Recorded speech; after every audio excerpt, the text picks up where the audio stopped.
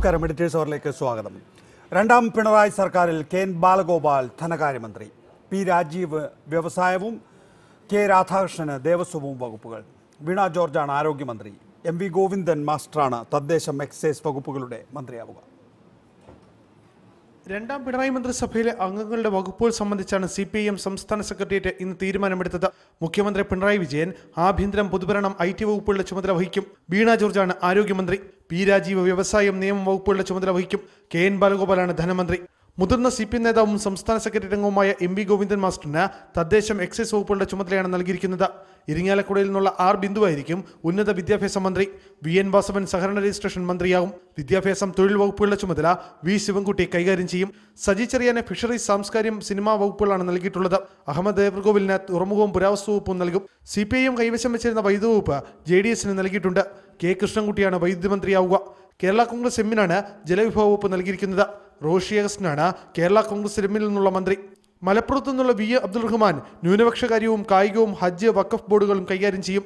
ആന്റണി രാജുവിന് ഗതാഗതവും advocate P A Muhammad റിയാസിന് പൊതുമരാമത്തും ടൂറിസവും വകുപ്പുകളാണ് സി പി എം നൽകിയിരിക്കുന്നത്. മന്ത്രി എ കെ ശശീന്ദ്രനാണ് വനംവകുപ്പ് മന്ത്രി. സി പി എമ്മിലെ മുതിർന്ന നേതാവും സംസ്ഥാന സെക്രട്ടറി അംഗവുമായ കെ രാധാകൃഷ്ണനാണ് അടുത്ത ദേവസ്വം മന്ത്രി. പിന്നോക്കക്ഷേമ വകുപ്പും രാധാകൃഷ്ണൻ നൽകിയതും സി പി എമ്മിന്റെ വിപ്ലവ തീരുമാനമായി കണക്കാക്കാം. R Arun Raj reporter Thiruvananthapuram. പുതിയ ആളുകൾ കടന്നു വരിക എന്നത് എന്ന സമീപനത്തിന്റെ ഭാഗമായാണ് ശൈലജ ടീച്ചറെ മാറ്റിയത് എന്ന് മുഖ്യമന്ത്രി പിണറായി വിജയൻ. എല്ലാവരും മാറുക എന്നത് ഒന്നിച്ചെടുത്ത തീരുമാനമാണ്. ആർക്കും ഇളവ് നൽകിയിട്ടില്ല എന്നും മുഖ്യമന്ത്രി പറഞ്ഞു. മികച്ച പ്രവർത്തനം നടത്തിയ ഒരുപാട് ആളുകളുണ്ട്. അതാണല്ലോ ഞങ്ങൾ നേരത്തെ നടത്തിയ ഒരു നിലപാടും നേരത്തെ ഞങ്ങൾ സ്വീകരിച്ചൊരു നിലപാടും ഇതുപോലെ ഒട്ടേറെ അഭിപ്രായങ്ങൾക്കിടയാക്കിയതാണല്ലോ ഇപ്പോൾ സ്ഥാനാർത്ഥി നിർണയത്തിന്റെ ഘട്ടത്തിൽ പാർട്ടി സ്വീകരിച്ചൊരു നിലപാടുണ്ടല്ലോ. നമ്മുടെ നാടും രാജ്യവും ലോകമൊക്കെ ശ്രദ്ധിക്കുമാർ പ്രവർത്തിച്ച ഒട്ടേറെ പേരെയല്ലേ? അപ്പോൾ സ്ഥാനാർത്ഥി പട്ടികയിൽ തന്നെ ഒഴിവായി പോകുന്ന നിലയുണ്ടായത്. അതൊന്നും അവരുടെ മികവ് മാനിക്കാതെയല്ല. ഒരു പുതിയ കാഴ്ചപ്പാട് പുതിയ ആളുകൾക്ക് അവസരം നൽകുക. അതിന് സി പി ഐ എമ്മിന് കഴിയും. അതാണ് സി പി ഐ എം സ്വീകരിച്ച നിലപാട്. അതിന്റെ ഭാഗമായാണ് അന്ന് അത് സ്വീകരിച്ചത്. അതായിരുന്നു കൂടുതൽ റിസ്ക് ഉള്ള കാര്യം. കാരണം ബഹുജനങ്ങളുടെ മുന്നിൽ അവതരിപ്പിക്കുന്ന കാര്യമാണ്. നമ്മളാ ഘട്ടം കഴിഞ്ഞു. ബഹുജനങ്ങൾ പൂർണമായി ആ നിലപാട് സ്വീകരിച്ചു എന്ന് തന്നെയാണ് കണ്ടത്. കാരണം ഇതിലൊന്നും വേറെ എന്തെങ്കിലും ദുരുദ്ദേശമല്ല. സൗദ്ദേശമാണ് എന്ന് ബഹുജനങ്ങൾക്കാകെ ബോധ്യപ്പെട്ടു. ഇക്കാര്യത്തിലും അത് തന്നെയാണ് ഉണ്ടായിട്ടുള്ളത്. യെസ് പിണറായി വിജയൻ സർക്കാരിന് എത്ര മാർക്ക്? രഞ്ജിത്ത് സംവിധായകൻ നമ്മോടൊപ്പം. ശ്രീ രഞ്ജിത്ത് പുതിയ മന്ത്രിസഭ വന്നിരിക്കുന്നു. വകുപ്പുകൾ ഏതാണ് എന്ന് അനൗപചാരികമായി നമ്മൾ മനസ്സിലാക്കുന്നു. ഈ മന്ത്രിസഭയ്ക്ക് ഒന്നാം പിണറായി സർക്കാരിനെ പോലെയോ അതിനേക്കാളോ മികച്ച രീതിയിൽ പ്രവർത്തിക്കാനാകുമെന്ന് വിശ്വസിക്കുന്നുണ്ടോ? തീർച്ചയായിട്ടും വിശ്വസിക്കുന്നുണ്ട്. പ്രധാനമായി ആദ്യമായി ഞാൻ പറയേണ്ടത് ഒരു തുടർ ഭരണം ആഗ്രഹിച്ച അനേക ലക്ഷങ്ങളുടെ കൂട്ടത്തിൽ ഞാനും ഉണ്ടായിരുന്നു. അതിൽ ഒരാൾ ഞാനുമായിരുന്നു. അത് സംഭവിച്ചു. മന്ത്രിസഭ ഫോം ചെയ്തു. ഇന്ന് നമ്മളെ മന്ത്രിമാരുടെ പേരുകളൊക്കെ ഏതാണ്ട് അത് ഔദ്യോഗികമായി മുഖ്യമന്ത്രി നാളെ ഗവർണറെ കണ്ട ശേഷമായിരിക്കും നമുക്ക് അറിയാൻ പറ്റുക എന്തായാലും. മാധ്യമങ്ങൾ വഴി പല പേരുകളും വരുന്നു. ഓരോ പേരുകളും വളരെയധികം ആത്മവിശ്വാസം ജനങ്ങൾക്ക് നൽകുന്ന പേരുകൾ തന്നെയാണ്. അവരെല്ലാവരും അവരുടേതായ കഴിവുകൾ തെളി തെളിയിച്ചിട്ടുള്ളവരാണ്. അത് മന്ത്രിസ്ഥാനം എന്ന് പറയുന്നിടത്തേക്ക് എത്തുമ്പോഴും ആ കത്തരയിലേക്ക് എത്തുമ്പോഴും ആ കഴിവ് തെളിയിക്കാൻ പ്രാപ്തരായവർ തന്നെയാണ് അവർ എന്ന് ഒരു പൂർണ ബോധ്യം എനിക്കുണ്ട് ദേവസ്വം മന്ത്രിയായി ഇപ്പോ ശ്രീ രാധാകൃഷ്ണൻ വരികയാണ്. രാധാകൃഷ്ണൻ നേരത്തെ പിന്നോക്ക മന്ത്രിയായിരുന്നു സ്പീക്കറായിരുന്നു. നേരത്തെ എനിക്ക് തോന്നുന്നത് മൂന്ന് മന്ത്രിമാർ ദേവസ്വം പിന്നോക്ക വിഭാഗത്തിൽപ്പെട്ട മൂന്ന് മന്ത്രിമാർ വെള്ളയീച്ചരൻ ദാമോദരൻ കാളാശ്ശേരി കെ കെ ബാലകൃഷ്ണൻ മൂന്ന് മന്ത്രിമാർ നേരത്തെ പിന്നോക്ക വിഭാഗത്തിലായിരുന്നുവെങ്കിലും ദേവസ്വം വകുപ്പ് കൈകാര്യം ചെയ്തിട്ടുണ്ട്. ഈ കാലഘട്ടത്തിൽ പ്രത്യേകിച്ച് ശബരിമല പോസ്റ്റ് ശബരിമല കാലഘട്ടത്തിൽ ഒരു പിന്നോക്ക വിഭാഗക്കാരൻ മന്ത്രിയാകുന്നത് വിപ്ലവമാണ് എന്ന് സി പി എമ്മിന്റെ ഇടതു ഇടതാനുകൂല സാമൂഹ്യ മാധ്യമ ആംസെല്ലാം പറയുന്നു. താങ്കൾക്ക് എന്ത് തോന്നുന്നു ശ്രീ രഞ്ജിത്ത് അല്ല അതിന് പ്രകടമായി ഒരു പിന്നാക്ക വിഭാഗത്തിൽ നിന്നൊരാളൊന്നും അഡ്രസ് ചെയ്യാൻ എനിക്ക് ഇഷ്ടമേ അല്ല. കെ രാധാകൃഷ്ണൻ എന്ന് പറയുന്നത് അടിയുറച്ച ഇടതുപക്ഷ മനോഭാവവും ബോധവുമുള്ള വർഷങ്ങളായി നമ്മൾ അറിയുന്ന ഒരാളാണ്. ഇതൊരു വകുപ്പാണ്. അതിന്റെ കീഴിൽ ദേവസ്യം എന്ന് പറയുന്ന അമ്പലങ്ങളുടെ ഭരണവുമായി ബന്ധപ്പെട്ട കാര്യങ്ങളാണ്. രാധാകൃഷ്ണനെ സംബന്ധിച്ചിടത്തോളം അദ്ദേഹത്തിന് അത് കൃത്യമായി മാനേജ് ചെയ്യാൻ പറ്റുന്നു അവിടെ അദ്ദേഹത്തിന്റെ ജാതി എന്ത് എന്നൊന്നും അതൊന്നും അല്ല വിഷയം. അത് കൃത്യമായും ഏറ്റവും ബോധ്യത്തോടു കൂടിയിട്ട് അദ്ദേഹത്തിന് ആ വകുപ്പ് പക്ഷെ അത് നോക്കേണ്ട കാലഘട്ടമാണിത് ശ്രീ രഞ്ജിത്ത് ഒന്ന് ഈ ദേവസ്വം ദേവസ്വം വകുപ്പ് മന്ത്രി എന്ന് പറയുന്നത് ഏതോ ഈ സോക്കോൾഡ് സവർണ കുല ജാതന് മാത്രമേ കൈകാര്യം ചെയ്യാൻ കഴിയൂ എന്നുള്ളൊരു ട്രെൻഡ് നമ്മൾ സൃഷ്ടിച്ചിട്ടുണ്ട്. നമ്മൾ നമ്മൾ തമ്മിൽ സംസാരിക്കുമ്പോഴെങ്കിലും നമുക്ക് എന്തിനാണ് അതിനകത്തൊരു ജാതി സാമുദായികവുമായ വാക്കുകൾ ഉപയോഗിക്കുന്നത്? രാധാകൃഷ്ണൻ ആസ് എ മിനിസ്റ്റർ അദ്ദേഹത്തിന്റെ മുൻകാല പെർഫോമൻസ് നമ്മൾ കണ്ടതാണ്. അദ്ദേഹം ഈ വകുപ്പും കൃത്യമായി സൂക്ഷ്മതയോടെ ഭരിക്കും എന്നുള്ള വിശ്വാസം തന്നെ എനിക്കുള്ളൂ ദേവസ്വം മന്ത്രി ദേവസ്വം ബോർഡ് യോഗങ്ങളിലെല്ലാം പങ്കെടുക്കുമ്പോൾ ഇതിനകം തന്നെ അതൊരു സജീവ ചർച്ചാ വിഷയമായിട്ടുണ്ട്. ഇനി ആ പിന്നോക്ക വിഭാഗക്കാരൻ അങ്ങനെ ദേവസ്വം മന്ത്രി ആകുന്നത് വലിയ അത്ഭുതമല്ല എന്നുള്ള നിലയിൽ നമ്മൾ കൊണ്ടുപോയിട്ടുണ്ട് നമ്മൾ കൊണ്ടുപോയിട്ട് കാര്യമുണ്ടോ എന്ന് എനിക്ക് തോന്നുന്നില്ല. പക്ഷെ അത് വലിയ അത്ഭുതമാണ് വലിയ തരത്തിലുള്ള പ്രശ്നമാണ് എന്ന് ചിലർക്കെങ്കിലും തോന്നി തുടങ്ങിയിട്ടുണ്ട്. നേരത്തെ അയ്യപ്പ ശാപം വിളിച്ചു വരുത്തിയതുപോലെ ബ്രാഹ്മണ ശാപം വിളിച്ചു വരുത്തരുത് എന്ന് പറയാൻ ആളുകളുണ്ട് ഈ നാട്ടിൽ. അല്ല അങ്ങനെ പറയുന്ന ശബ്ദങ്ങൾ മുഖവിലക്കി കേരള ജനത എടുത്തില്ല എന്നതിന്റെ തെളിവാണല്ലോ. ഈ വലിയ ഭൂരിപക്ഷത്തിൽ എൽ ഡി എഫിനെ ഭരണത്തിലേക്ക് ജനങ്ങൾ തിരിച്ച് സ്വീകരിച്ചിരുത്തിയത്. നമുക്കിടയിൽ എന്ന് പറയുമ്പോൾ ഞാൻ നികേഷോട് മാത്രമല്ല നമുക്കെങ്കിലും സാമുദായിക ജാതീയമായ വേർതിരിവുകളെ മറന്നുകൊണ്ട് സംസാരിക്കാൻ കെ രാധാകൃഷ്ണനാണ് മന്ത്രി.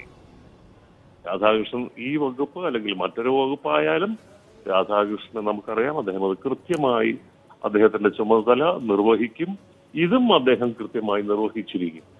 ഒരു പുതിയ തലമുറയെ കാര്യങ്ങൾ ഏൽപ്പിച്ചു കൊടുക്കുകയാണ്. ഇന്നിപ്പോൾ പിണറായി വിജയനോട് കെ കെ ശൈലജ ടീച്ചറെ എന്തുകൊണ്ട് മാറ്റി എന്ന ചോദ്യം ഉയർന്നു വന്നിരുന്നു. ശൈലജ ടീച്ചറെ മാറ്റിയത് എല്ലാവരും മാറി നിൽക്കുക എന്നുള്ള നയത്തിന്റെ അടിസ്ഥാനത്തിലാണ് എന്ന്. അങ്ങനെയാണ് പിന്നെ പിണറായി വിജയൻ എന്തുകൊണ്ട് മാറിയില്ല എന്ന് ചോദിച്ചപ്പോൾ അങ്ങനെ ഒരു വിമർശനം ഉണ്ടാകാം. അത് സ്വാഭാവികമാണ്. പക്ഷെ പാർട്ടി ഇതാണ് തീരുമാനിച്ചിട്ടുള്ളത് എന്നുള്ള മറുപടിയാണ് നോക്കൂ ശൈലജ ടീച്ചറെ പോലെ പെർഫോം ചെയ്ത മന്ത്രിമാരെ മാറ്റി നിർത്തിയത്. നമ്മളെപ്പോഴും പറയുക എന്താണ് സാധാരണഗതിയിൽ? അനുഭവ സമ്പത്തുള്ളവരും പുതിയവരും. അവരുടെ ഒരു ഒരുമിച്ചുള്ള കൂട്ടായ്മയാണ് സാധാരണഗതിയിൽ മികച്ച പ്രവർത്തനത്തിന് കാരണമാവുക എന്നുള്ളതല്ലേ?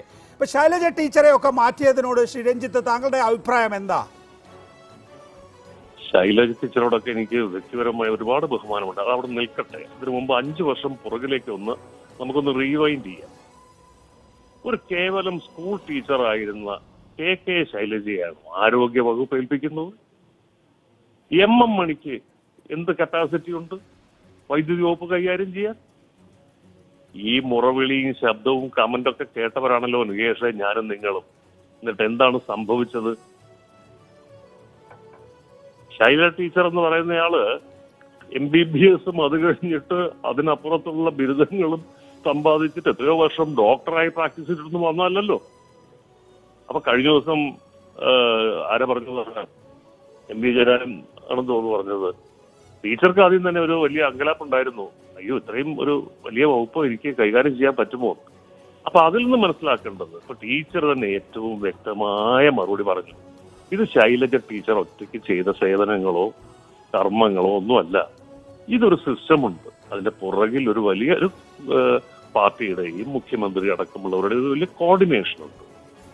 എന്ന് പറയാനുള്ള എനിക്ക് അതിൽ തുടർ ചോദ്യമുണ്ട്. ശൈലജ ദയവായി തുടരുക ശ്രീ രഞ്ജിത്ത്. അതിനിടയിൽ കെ രാധാകൃഷ്ണൻ നമ്മോടൊപ്പം ഉണ്ട് നിയുക്ത മന്ത്രി ശ്രീ രാധാകൃഷ്ണൻ ആദ്യം അഭിനന്ദനങ്ങൾ ആശംസകൾ. ഓ താങ്ക് യു സ്പീക്കർ സ്ഥാനത്തുണ്ടായിരുന്നു മന്ത്രി സ്ഥാനത്തുണ്ടായിരുന്നു. ദാ ഇപ്പോൾ രണ്ടാം പിണറായി പിണറായി സർക്കാരിലും താങ്കൾക്ക് പങ്കാളിത്തം ലഭിച്ചിരിക്കുന്നു. ഓ. വകുപ്പ് ഏതാണെന്ന് മുഖ്യമന്ത്രി പറഞ്ഞോ? എന്താ പറഞ്ഞേ? വകുപ്പ് ഏതാണെന്ന് മുഖ്യമന്ത്രി പറഞ്ഞോ താങ്കളോട്? വകുപ്പ് മുഖ്യമന്ത്രി പൂർണമായിട്ടും പറഞ്ഞിട്ടില്ല. മന്ത്രിയായിട്ട് സത്യപ്രതിജ്ഞ ചെയ്യാണ് അതെ. അതിനുവേണ്ടി ആലപ്പുഴയിലേക്ക് വരാനാണ് ഇപ്പൊ പറഞ്ഞിരിക്കുന്നത് അതെ. ആലപ്പുഴയിലെ രക്തസാക്ഷി മണ്ഡപത്തിൽ രാവിലെ ഒൻപത് മണിക്ക് പുഷ്പാർച്ചന. ഞാൻ നേരെ ഇപ്പൊ ഇപ്പൊ ഞാൻ തിരുവനന്തപുരത്തുണ്ടായിരുന്നു ഞാൻ തിരുവനന്തപുരത്ത് നിന്ന് നേരെ ആലപ്പുഴയ്ക്ക് പോവുകയാണ് നാളെ രാവിലെ രക്തസാക്ഷി മണ്ഡപത്തിൽ പുഷ്പാർച്ചന അതിന് ശേഷം തിരിച്ചു. തിരിച്ചു പോകും. മന്ത്രിയായി സത്യപ്രതിജ്ഞ ചെയ്യാൻ തയ്യാറായി നിൽക്കുകയാണ്. അത് വേണമല്ലോ. പാർട്ടി തീരുമാനമല്ലേ തീർച്ചയായും. പാർട്ടി തീരുമാനത്തിനനുസരിച്ച് നാളെ മൂന്നരയ്ക്ക് സത്യപ്രതിജ്ഞ ചെയ്യും. ഒരിക്കൽ കൂടി മന്ത്രിസ്ഥാനം എന്ന റോളിലേക്ക് വരികയാണ് ഷി കെ രാധാകൃഷ്ണൻ. എന്താണൊരു പാർട്ടി ഏൽപ്പിക്കുന്ന ദൗത്യം പൂർണമായും തന്നാൽ കഴിയാവുന്ന വിധം നിർവഹിക്കുമെന്നൊക്കെയാണ് സാധാരണഗതിയിൽ നിങ്ങൾ ഒറ്റവാചകത്തിൽ പറയുക. ഞാൻ അങ്ങനെയാണ് ചെയ്തിരിക്കുന്നത്. പാർട്ടി ഏൽപ്പിച്ച ഉത്തരവാദിത്തങ്ങൾ അത് തെരഞ്ഞെടുക്കപ്പെട്ട വേദിയാണെങ്കിലും സംഘടനാ രംഗത്താണെങ്കിലും എന്നെ ഏൽപ്പിച്ച ജോലി എന്റെ കഴിവിനനുസരിച്ച് നല്ലപോലെ ചെയ്യുക എന്നുള്ളതാണ് ഇതുവരെ തിരിച്ചു പോകുന്നത് തുടർന്നും അത് തന്നെയായിരിക്കും ചെയ്യുക. മുൻപ് താങ്കൾ സ്പീക്കറായിരുന്നപ്പോൾ പോലും വളരെ സജീവമായ ചർച്ച ഉണ്ടായിരുന്നു അന്നത്തെ പത്രമൊക്കെ ഞാൻ ഇന്നും ഓർക്കുന്നു. വളരെ സാമ്പത്തികമായി പിന്നോക്കം നിൽക്കുന്ന ഒരു വിഭാഗത്തിൽ നിന്ന് ഇടതുപക്ഷ ജനാധിപത്യ മുന്നണിയുടെ മന്ത്രിസഭയിൽ ഒരു അംഗമാകുന്നു അല്ലെങ്കിൽ സ്പീക്കറാകുന്നു എന്നുള്ള നിലയിലൊക്കെ തന്നെ. ഇപ്പോൾ ഉണ്ടായിട്ടുള്ള ചർച്ച ശ്രീ കെ രാധാകൃഷ്ണൻ നേരത്തെ ദേവസ്വം മന്ത്രിയായി വെള്ളയീച്ചരൻ ദാമോദരൻ കാളാശ്ശേരി കെ കെ ബാലകൃഷ്ണൻ എന്നിവരൊക്കെ മന്ത്രി ആയിട്ടുണ്ടെങ്കിൽ തന്നെയും ഇപ്പോൾ ശബരിമല വിവാദത്തിന് ശേഷം താങ്കളെ ദേവസ്വം മന്ത്രി ആക്കിയത് സമൂഹത്തിലൊരു ചർച്ചയായിട്ടുണ്ട്. ശ്രദ്ധിച്ചിരുന്നോ താങ്കളത്? കാര്യമായിട്ട് ശ്രദ്ധിച്ചിട്ടില്ല. ഏഹ് നമ്മൾ എല്ലാ വിഭാഗങ്ങളിലും വിശ്വാസം സംരക്ഷിക്കും നിലപാടാണ് സി പി എമ്മും ഇടതുപക്ഷവും സ്വീകരിക്കുന്നത്.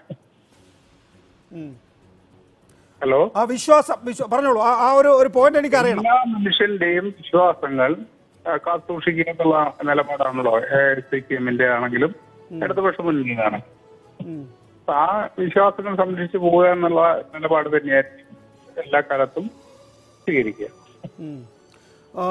ശബരിമല വിഷയം ഈ നിയമസഭാ തെരഞ്ഞെടുപ്പിലും ചർച്ചയാക്കാൻ വേണ്ടി വലിയ ശ്രമം നടന്നിരുന്നു. പക്ഷേ അത് വലുതായി ഏറ്റില്ല എന്ന് വേണം തെരഞ്ഞെടുപ്പ് ഫലം തെളിയിക്കുന്നത്. പക്ഷേ ഈ സർക്കാരിന്റെ കാലഘട്ടത്തിൽ തന്നെ സംസ്ഥാന സർക്കാർ എന്ത് സത്യവാങ്മൂലമാണ് നൽകുക തുടങ്ങിയ കാര്യങ്ങളെല്ലാം താങ്കളുടെ കയ്യിലാണ് ഇരിക്കുന്നത് ശ്രീ രാധാകൃഷ്ണൻ. അതെല്ലാം പിന്നീട് ഇപ്പൊ എന്റെ വകുപ്പാണെന്ന് പോലും തീരുമാനമില്ല. അതെല്ലാം പിന്നീട് ഗവൺമെന്റ് ചർച്ച ചെയ്യേണ്ട കാര്യങ്ങളാണ് ഇടതുപക്ഷ മുന്നിൽ ചർച്ച ചെയ്യേണ്ട കാര്യമാണ് നമ്മുടെ നാടും ചർച്ച ചെയ്യേണ്ട കാര്യമാണ്. അതനുസരിച്ചാണ് പോവുക.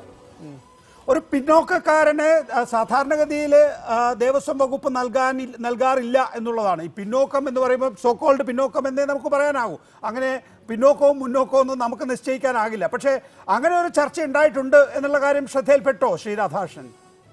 അങ്ങനെ ഒരു ചർച്ചയുടെ ആവശ്യമുണ്ടെന്ന് തോന്നുന്നില്ല. കാരണം എന്താ വെച്ചാൽ ഇതൊക്കെ ഓരോ ഉത്തരവാദിത്തമല്ലേ നിറവേറ്റുന്നത്. അത് ഈ ഇങ്ങനെ വാട്ടർ ടാങ്ക് കമ്പാർട്ട്മെന്റിലേക്ക് കൊണ്ടുപോകേണ്ട കാര്യമില്ല എന്നുള്ളതാണ് എന്റെ വിശ്വാസം. പ്രത്യേകിച്ച് താങ്കളെ ഏൽപ്പിക്കുന്നതിലൂടെ ഇടതുപക്ഷ ജനാധിപത്യ മുന്നണി കേരളത്തിനൊരു സന്ദേശം നൽകാൻ ഉദ്ദേശിക്കുന്നുണ്ടോ? അത്യാവശ്യം ഉണ്ടല്ലോ ഇടതുപക്ഷം മുന്നണി തന്നെ എല്ലാ മേഖലയിലും പുതിയ കാഴ്ചപ്പാടുമായിട്ടാണ് മുന്നോട്ട് പോകുന്നത്? അതാണ് നമ്മുടെ കേരളത്തിലെ ചരിത്രത്തിൽ ഇപ്പോൾ ആദ്യമായിട്ടാണ് ഇടതുപക്ഷ മുന്നിന്റെ തുടർ ഗവൺമെന്റ് ഉണ്ടാകുന്നത്. കഴിഞ്ഞ അഞ്ചു വർഷക്കാലം നാടിന് വേണ്ടി ജനങ്ങൾക്ക് വേണ്ടി ചെയ്ത കാര്യങ്ങൾ ജനങ്ങൾ നല്ലപോലെ തിരിച്ചറിഞ്ഞുകൊണ്ടാണ് വീണ്ടും ഇടതുപക്ഷ മുന്നണിയെ അധികാരത്തിലെത്തിച്ചിരിക്കുന്നത് തീർച്ചയായിട്ടും അങ്ങനെ ജനങ്ങൾ ഇടതുപക്ഷ മുന്നണിയിൽ വിശ്വാസം അർപ്പിച്ചിരിക്കുകയാണ്. ആ വിശ്വാസം കൂടുതൽ കാത്തുസൂക്ഷിക്കാൻ ഉത്തരവാദിത്തമാണ് ഇടതുപക്ഷ മുന്നണി ഏറ്റെടുക്കുന്നത്. ഒന്ന് കഴിഞ്ഞ തവണ ഉണ്ടായിരുന്ന E P Jayarajan doctor T M Thomas Isaac G Sudhakaran A K Balan മത്സരിച്ചിരുന്ന K K Shailaja M M Mani Kadakampally തുടങ്ങി നിരവധി പേരെ മാറ്റുന്നു. ഇപ്പം ഇതിപ്പോൾ മുഖ്യമന്ത്രി അതിനെ വിശദീകരിച്ചിരുന്നത് അതായിരുന്നു കുറച്ചുകൂടി റിസ്ക്. ഏത് കഴിഞ്ഞ നിയമസഭാ തെരഞ്ഞെടുപ്പിന് മുമ്പ് പരിണതപ്രജ്ഞനായ ഒരുപക്ഷെ ഒന്നാം പിണറായി സർക്കാരിന്റെ ക്രെഡിറ്റ് അവകാശപ്പെടാൻ കഴിയുമായിരുന്ന രാജ്യം ശ്രദ്ധിച്ച പ്രഗത്ഭരായിട്ടുള്ള മന്ത്രിമാരെ സ്ഥാനാർത്ഥികളാക്കാതെ പോലും മാറ്റി നിർത്തുന്നതായിരുന്നു. കാരണം ബഹുജനങ്ങളുടെ മുന്നിൽ ആ ലിസ്റ്റ് അവതരിപ്പിക്കുമ്പോൾ ഇവരെ ഒഴിവാക്കി എന്നുള്ളത് ഏത് നിലയിലായിരിക്കും എടുക്കുക എന്നത് സംബന്ധിച്ച് എന്തായാലും ഇടതുപക്ഷ ജനാധിപത്യ മുന്നണിക്ക് ടെൻഷൻ ഉണ്ടായിരുന്നു എന്നാണ് ഇന്ന് മുഖ്യമന്ത്രിയുടെ വാക്കുകളിൽ നിന്ന് മനസ്സിലാക്കാൻ കഴിയുന്നത്. ഇന്ന് മുഖ്യമന്ത്രി പറയുന്നത് അത് ജനങ്ങൾ സ്വീകരിച്ചല്ലോ. ആ ഒന്നാം ഘട്ടം ജനങ്ങൾ സ്വീകരിച്ചല്ലോ. അതിലേതെങ്കിലും തരത്തിൽ ഒരു അജണ്ടയുടെ അടിസ്ഥാനത്തിലല്ല നീക്കം ചെയ്തത് എന്ന് ജനങ്ങൾക്ക് മനസ്സിലായി. അതുകൊണ്ട് തന്നെ ഈ കാര്യവും മനസ്സിലാക്കും എന്നുള്ളതാണ്. അപ്പോൾ ഒരു വലിയ ടീമിനെ പ്രഗത്ഭരായ ഒരു വലിയ ടീമിനെ മാറ്റി നിർത്തുന്നു. പുതിയൊരു ടീമിനെ കൊണ്ടുവരുന്നു. അതിനോടൊപ്പം തന്നെയാണ് ദേവസ്വം പോലെയുള്ള ഒരു വകുപ്പിൽ താങ്കളെ മന്ത്രിയാക്കിയിരിക്കുന്നതും. അപ്പോൾ ഓരോന്നിനും അജണ്ട ഉണ്ടാകുമല്ലോ. ഒന്നാമത്തേതിന്റെ കാരണം എന്ന് പറയുന്നത് ബംഗാളും ത്രിപുരയും ആവർത്തിക്കാൻ പാടില്ല എന്നുള്ളതാണ്. രണ്ടാമത്തേതിനും കൃത്യമായ സന്ദേശം ഉണ്ടാവുമല്ലോ ശ്രീ കെ രാധാകൃഷ്ണൻ.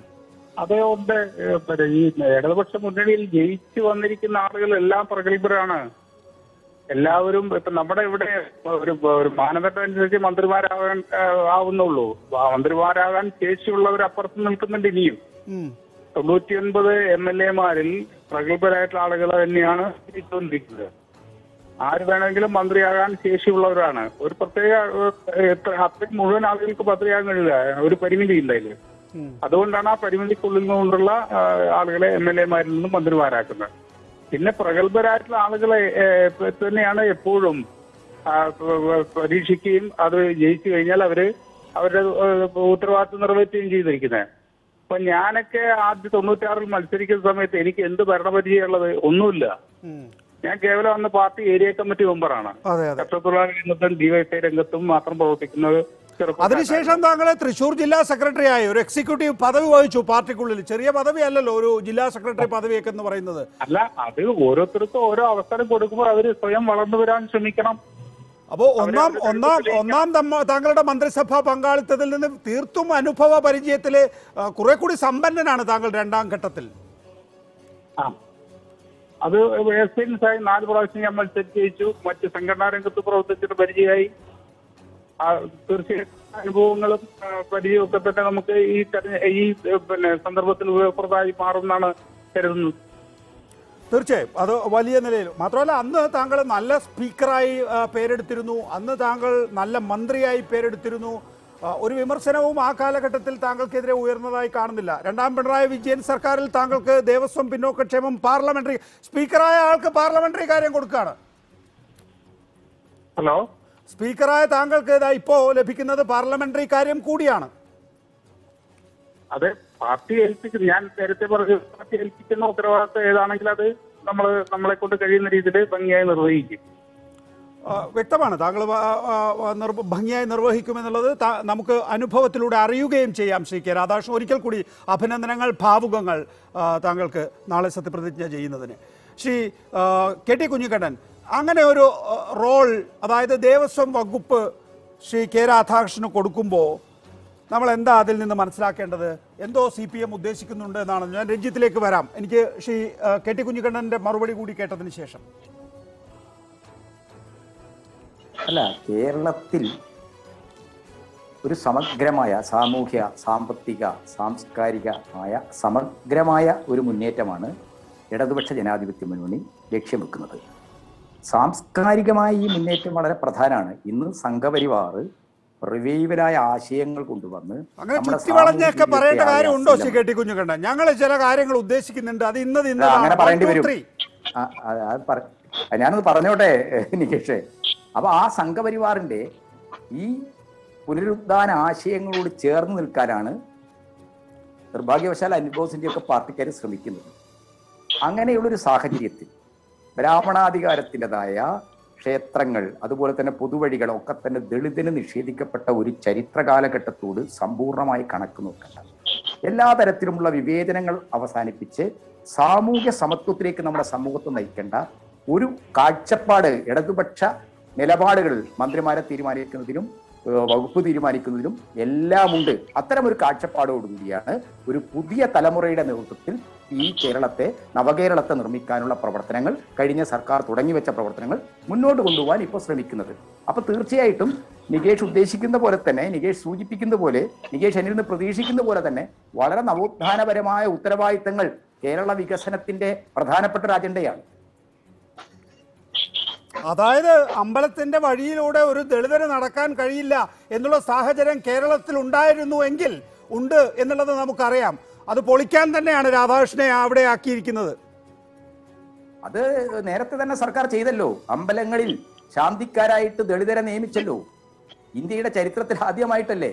അതുകൊണ്ട് വളരെ കടുത്ത കമ്മ്യൂണിസ്റ്റ് വിരോധമുള്ള ദളിത് സംഘടനകളെ പോലും പിണറായി വിജയനെ വലിയ രീതിയിൽ സ്വാഗതിച്ചല്ലോ അതിന്റെ പേരിൽ ഇടതുപക്ഷ ജനാധിപത്യ മുന്നണി വിശ്വാസത്തിന്റെയും ആചാരത്തിന്റെയും മനുഷ്യ ജീവിതത്തിന്റെ എല്ലാ വ്യവഹാര മണ്ഡലങ്ങളിലും തുല്യത വേണം.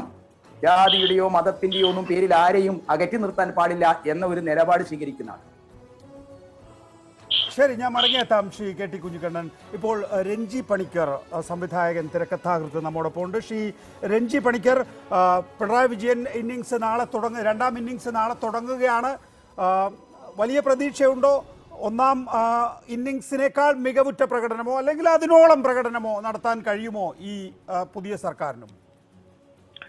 എല്ലാവരും ഉറ്റുനോക്കുന്നത് അത് തന്നെയാണ്. ഈ ഒന്നാം ഗവൺമെന്റിന്റെ മെറിറ്റ് തന്നെയാണ് സത്യത്തിൽ ഈ ഭരണ തുടർച്ചയ്ക്ക് വഴിവെച്ചത് എന്നുള്ളത് സാധാരണ ആളുകൾ അംഗീകരിക്കുന്ന ഒരു കാര്യമാണ്. കാരണം പ്രതിസന്ധി കാലഘട്ടങ്ങളിൽ ഈ ഗവൺമെന്റ് വീടുകളിലേക്ക് എത്തുകയും ജനങ്ങൾക്കൊപ്പം നിൽക്കുകയും അവർക്ക് വേണ്ടുന്ന കരുതൽ നൽകുകയും സംരക്ഷിക്കുകയും ഒക്കെ ചെയ്തു എന്ന് പറയുന്ന ഒരു പൊതുവികാരം ഈ ഗവൺമെന്റ് അധികാരത്തിലേക്ക് തിരിച്ചു വരുന്നതിന് കാരണമായിട്ടുണ്ട്.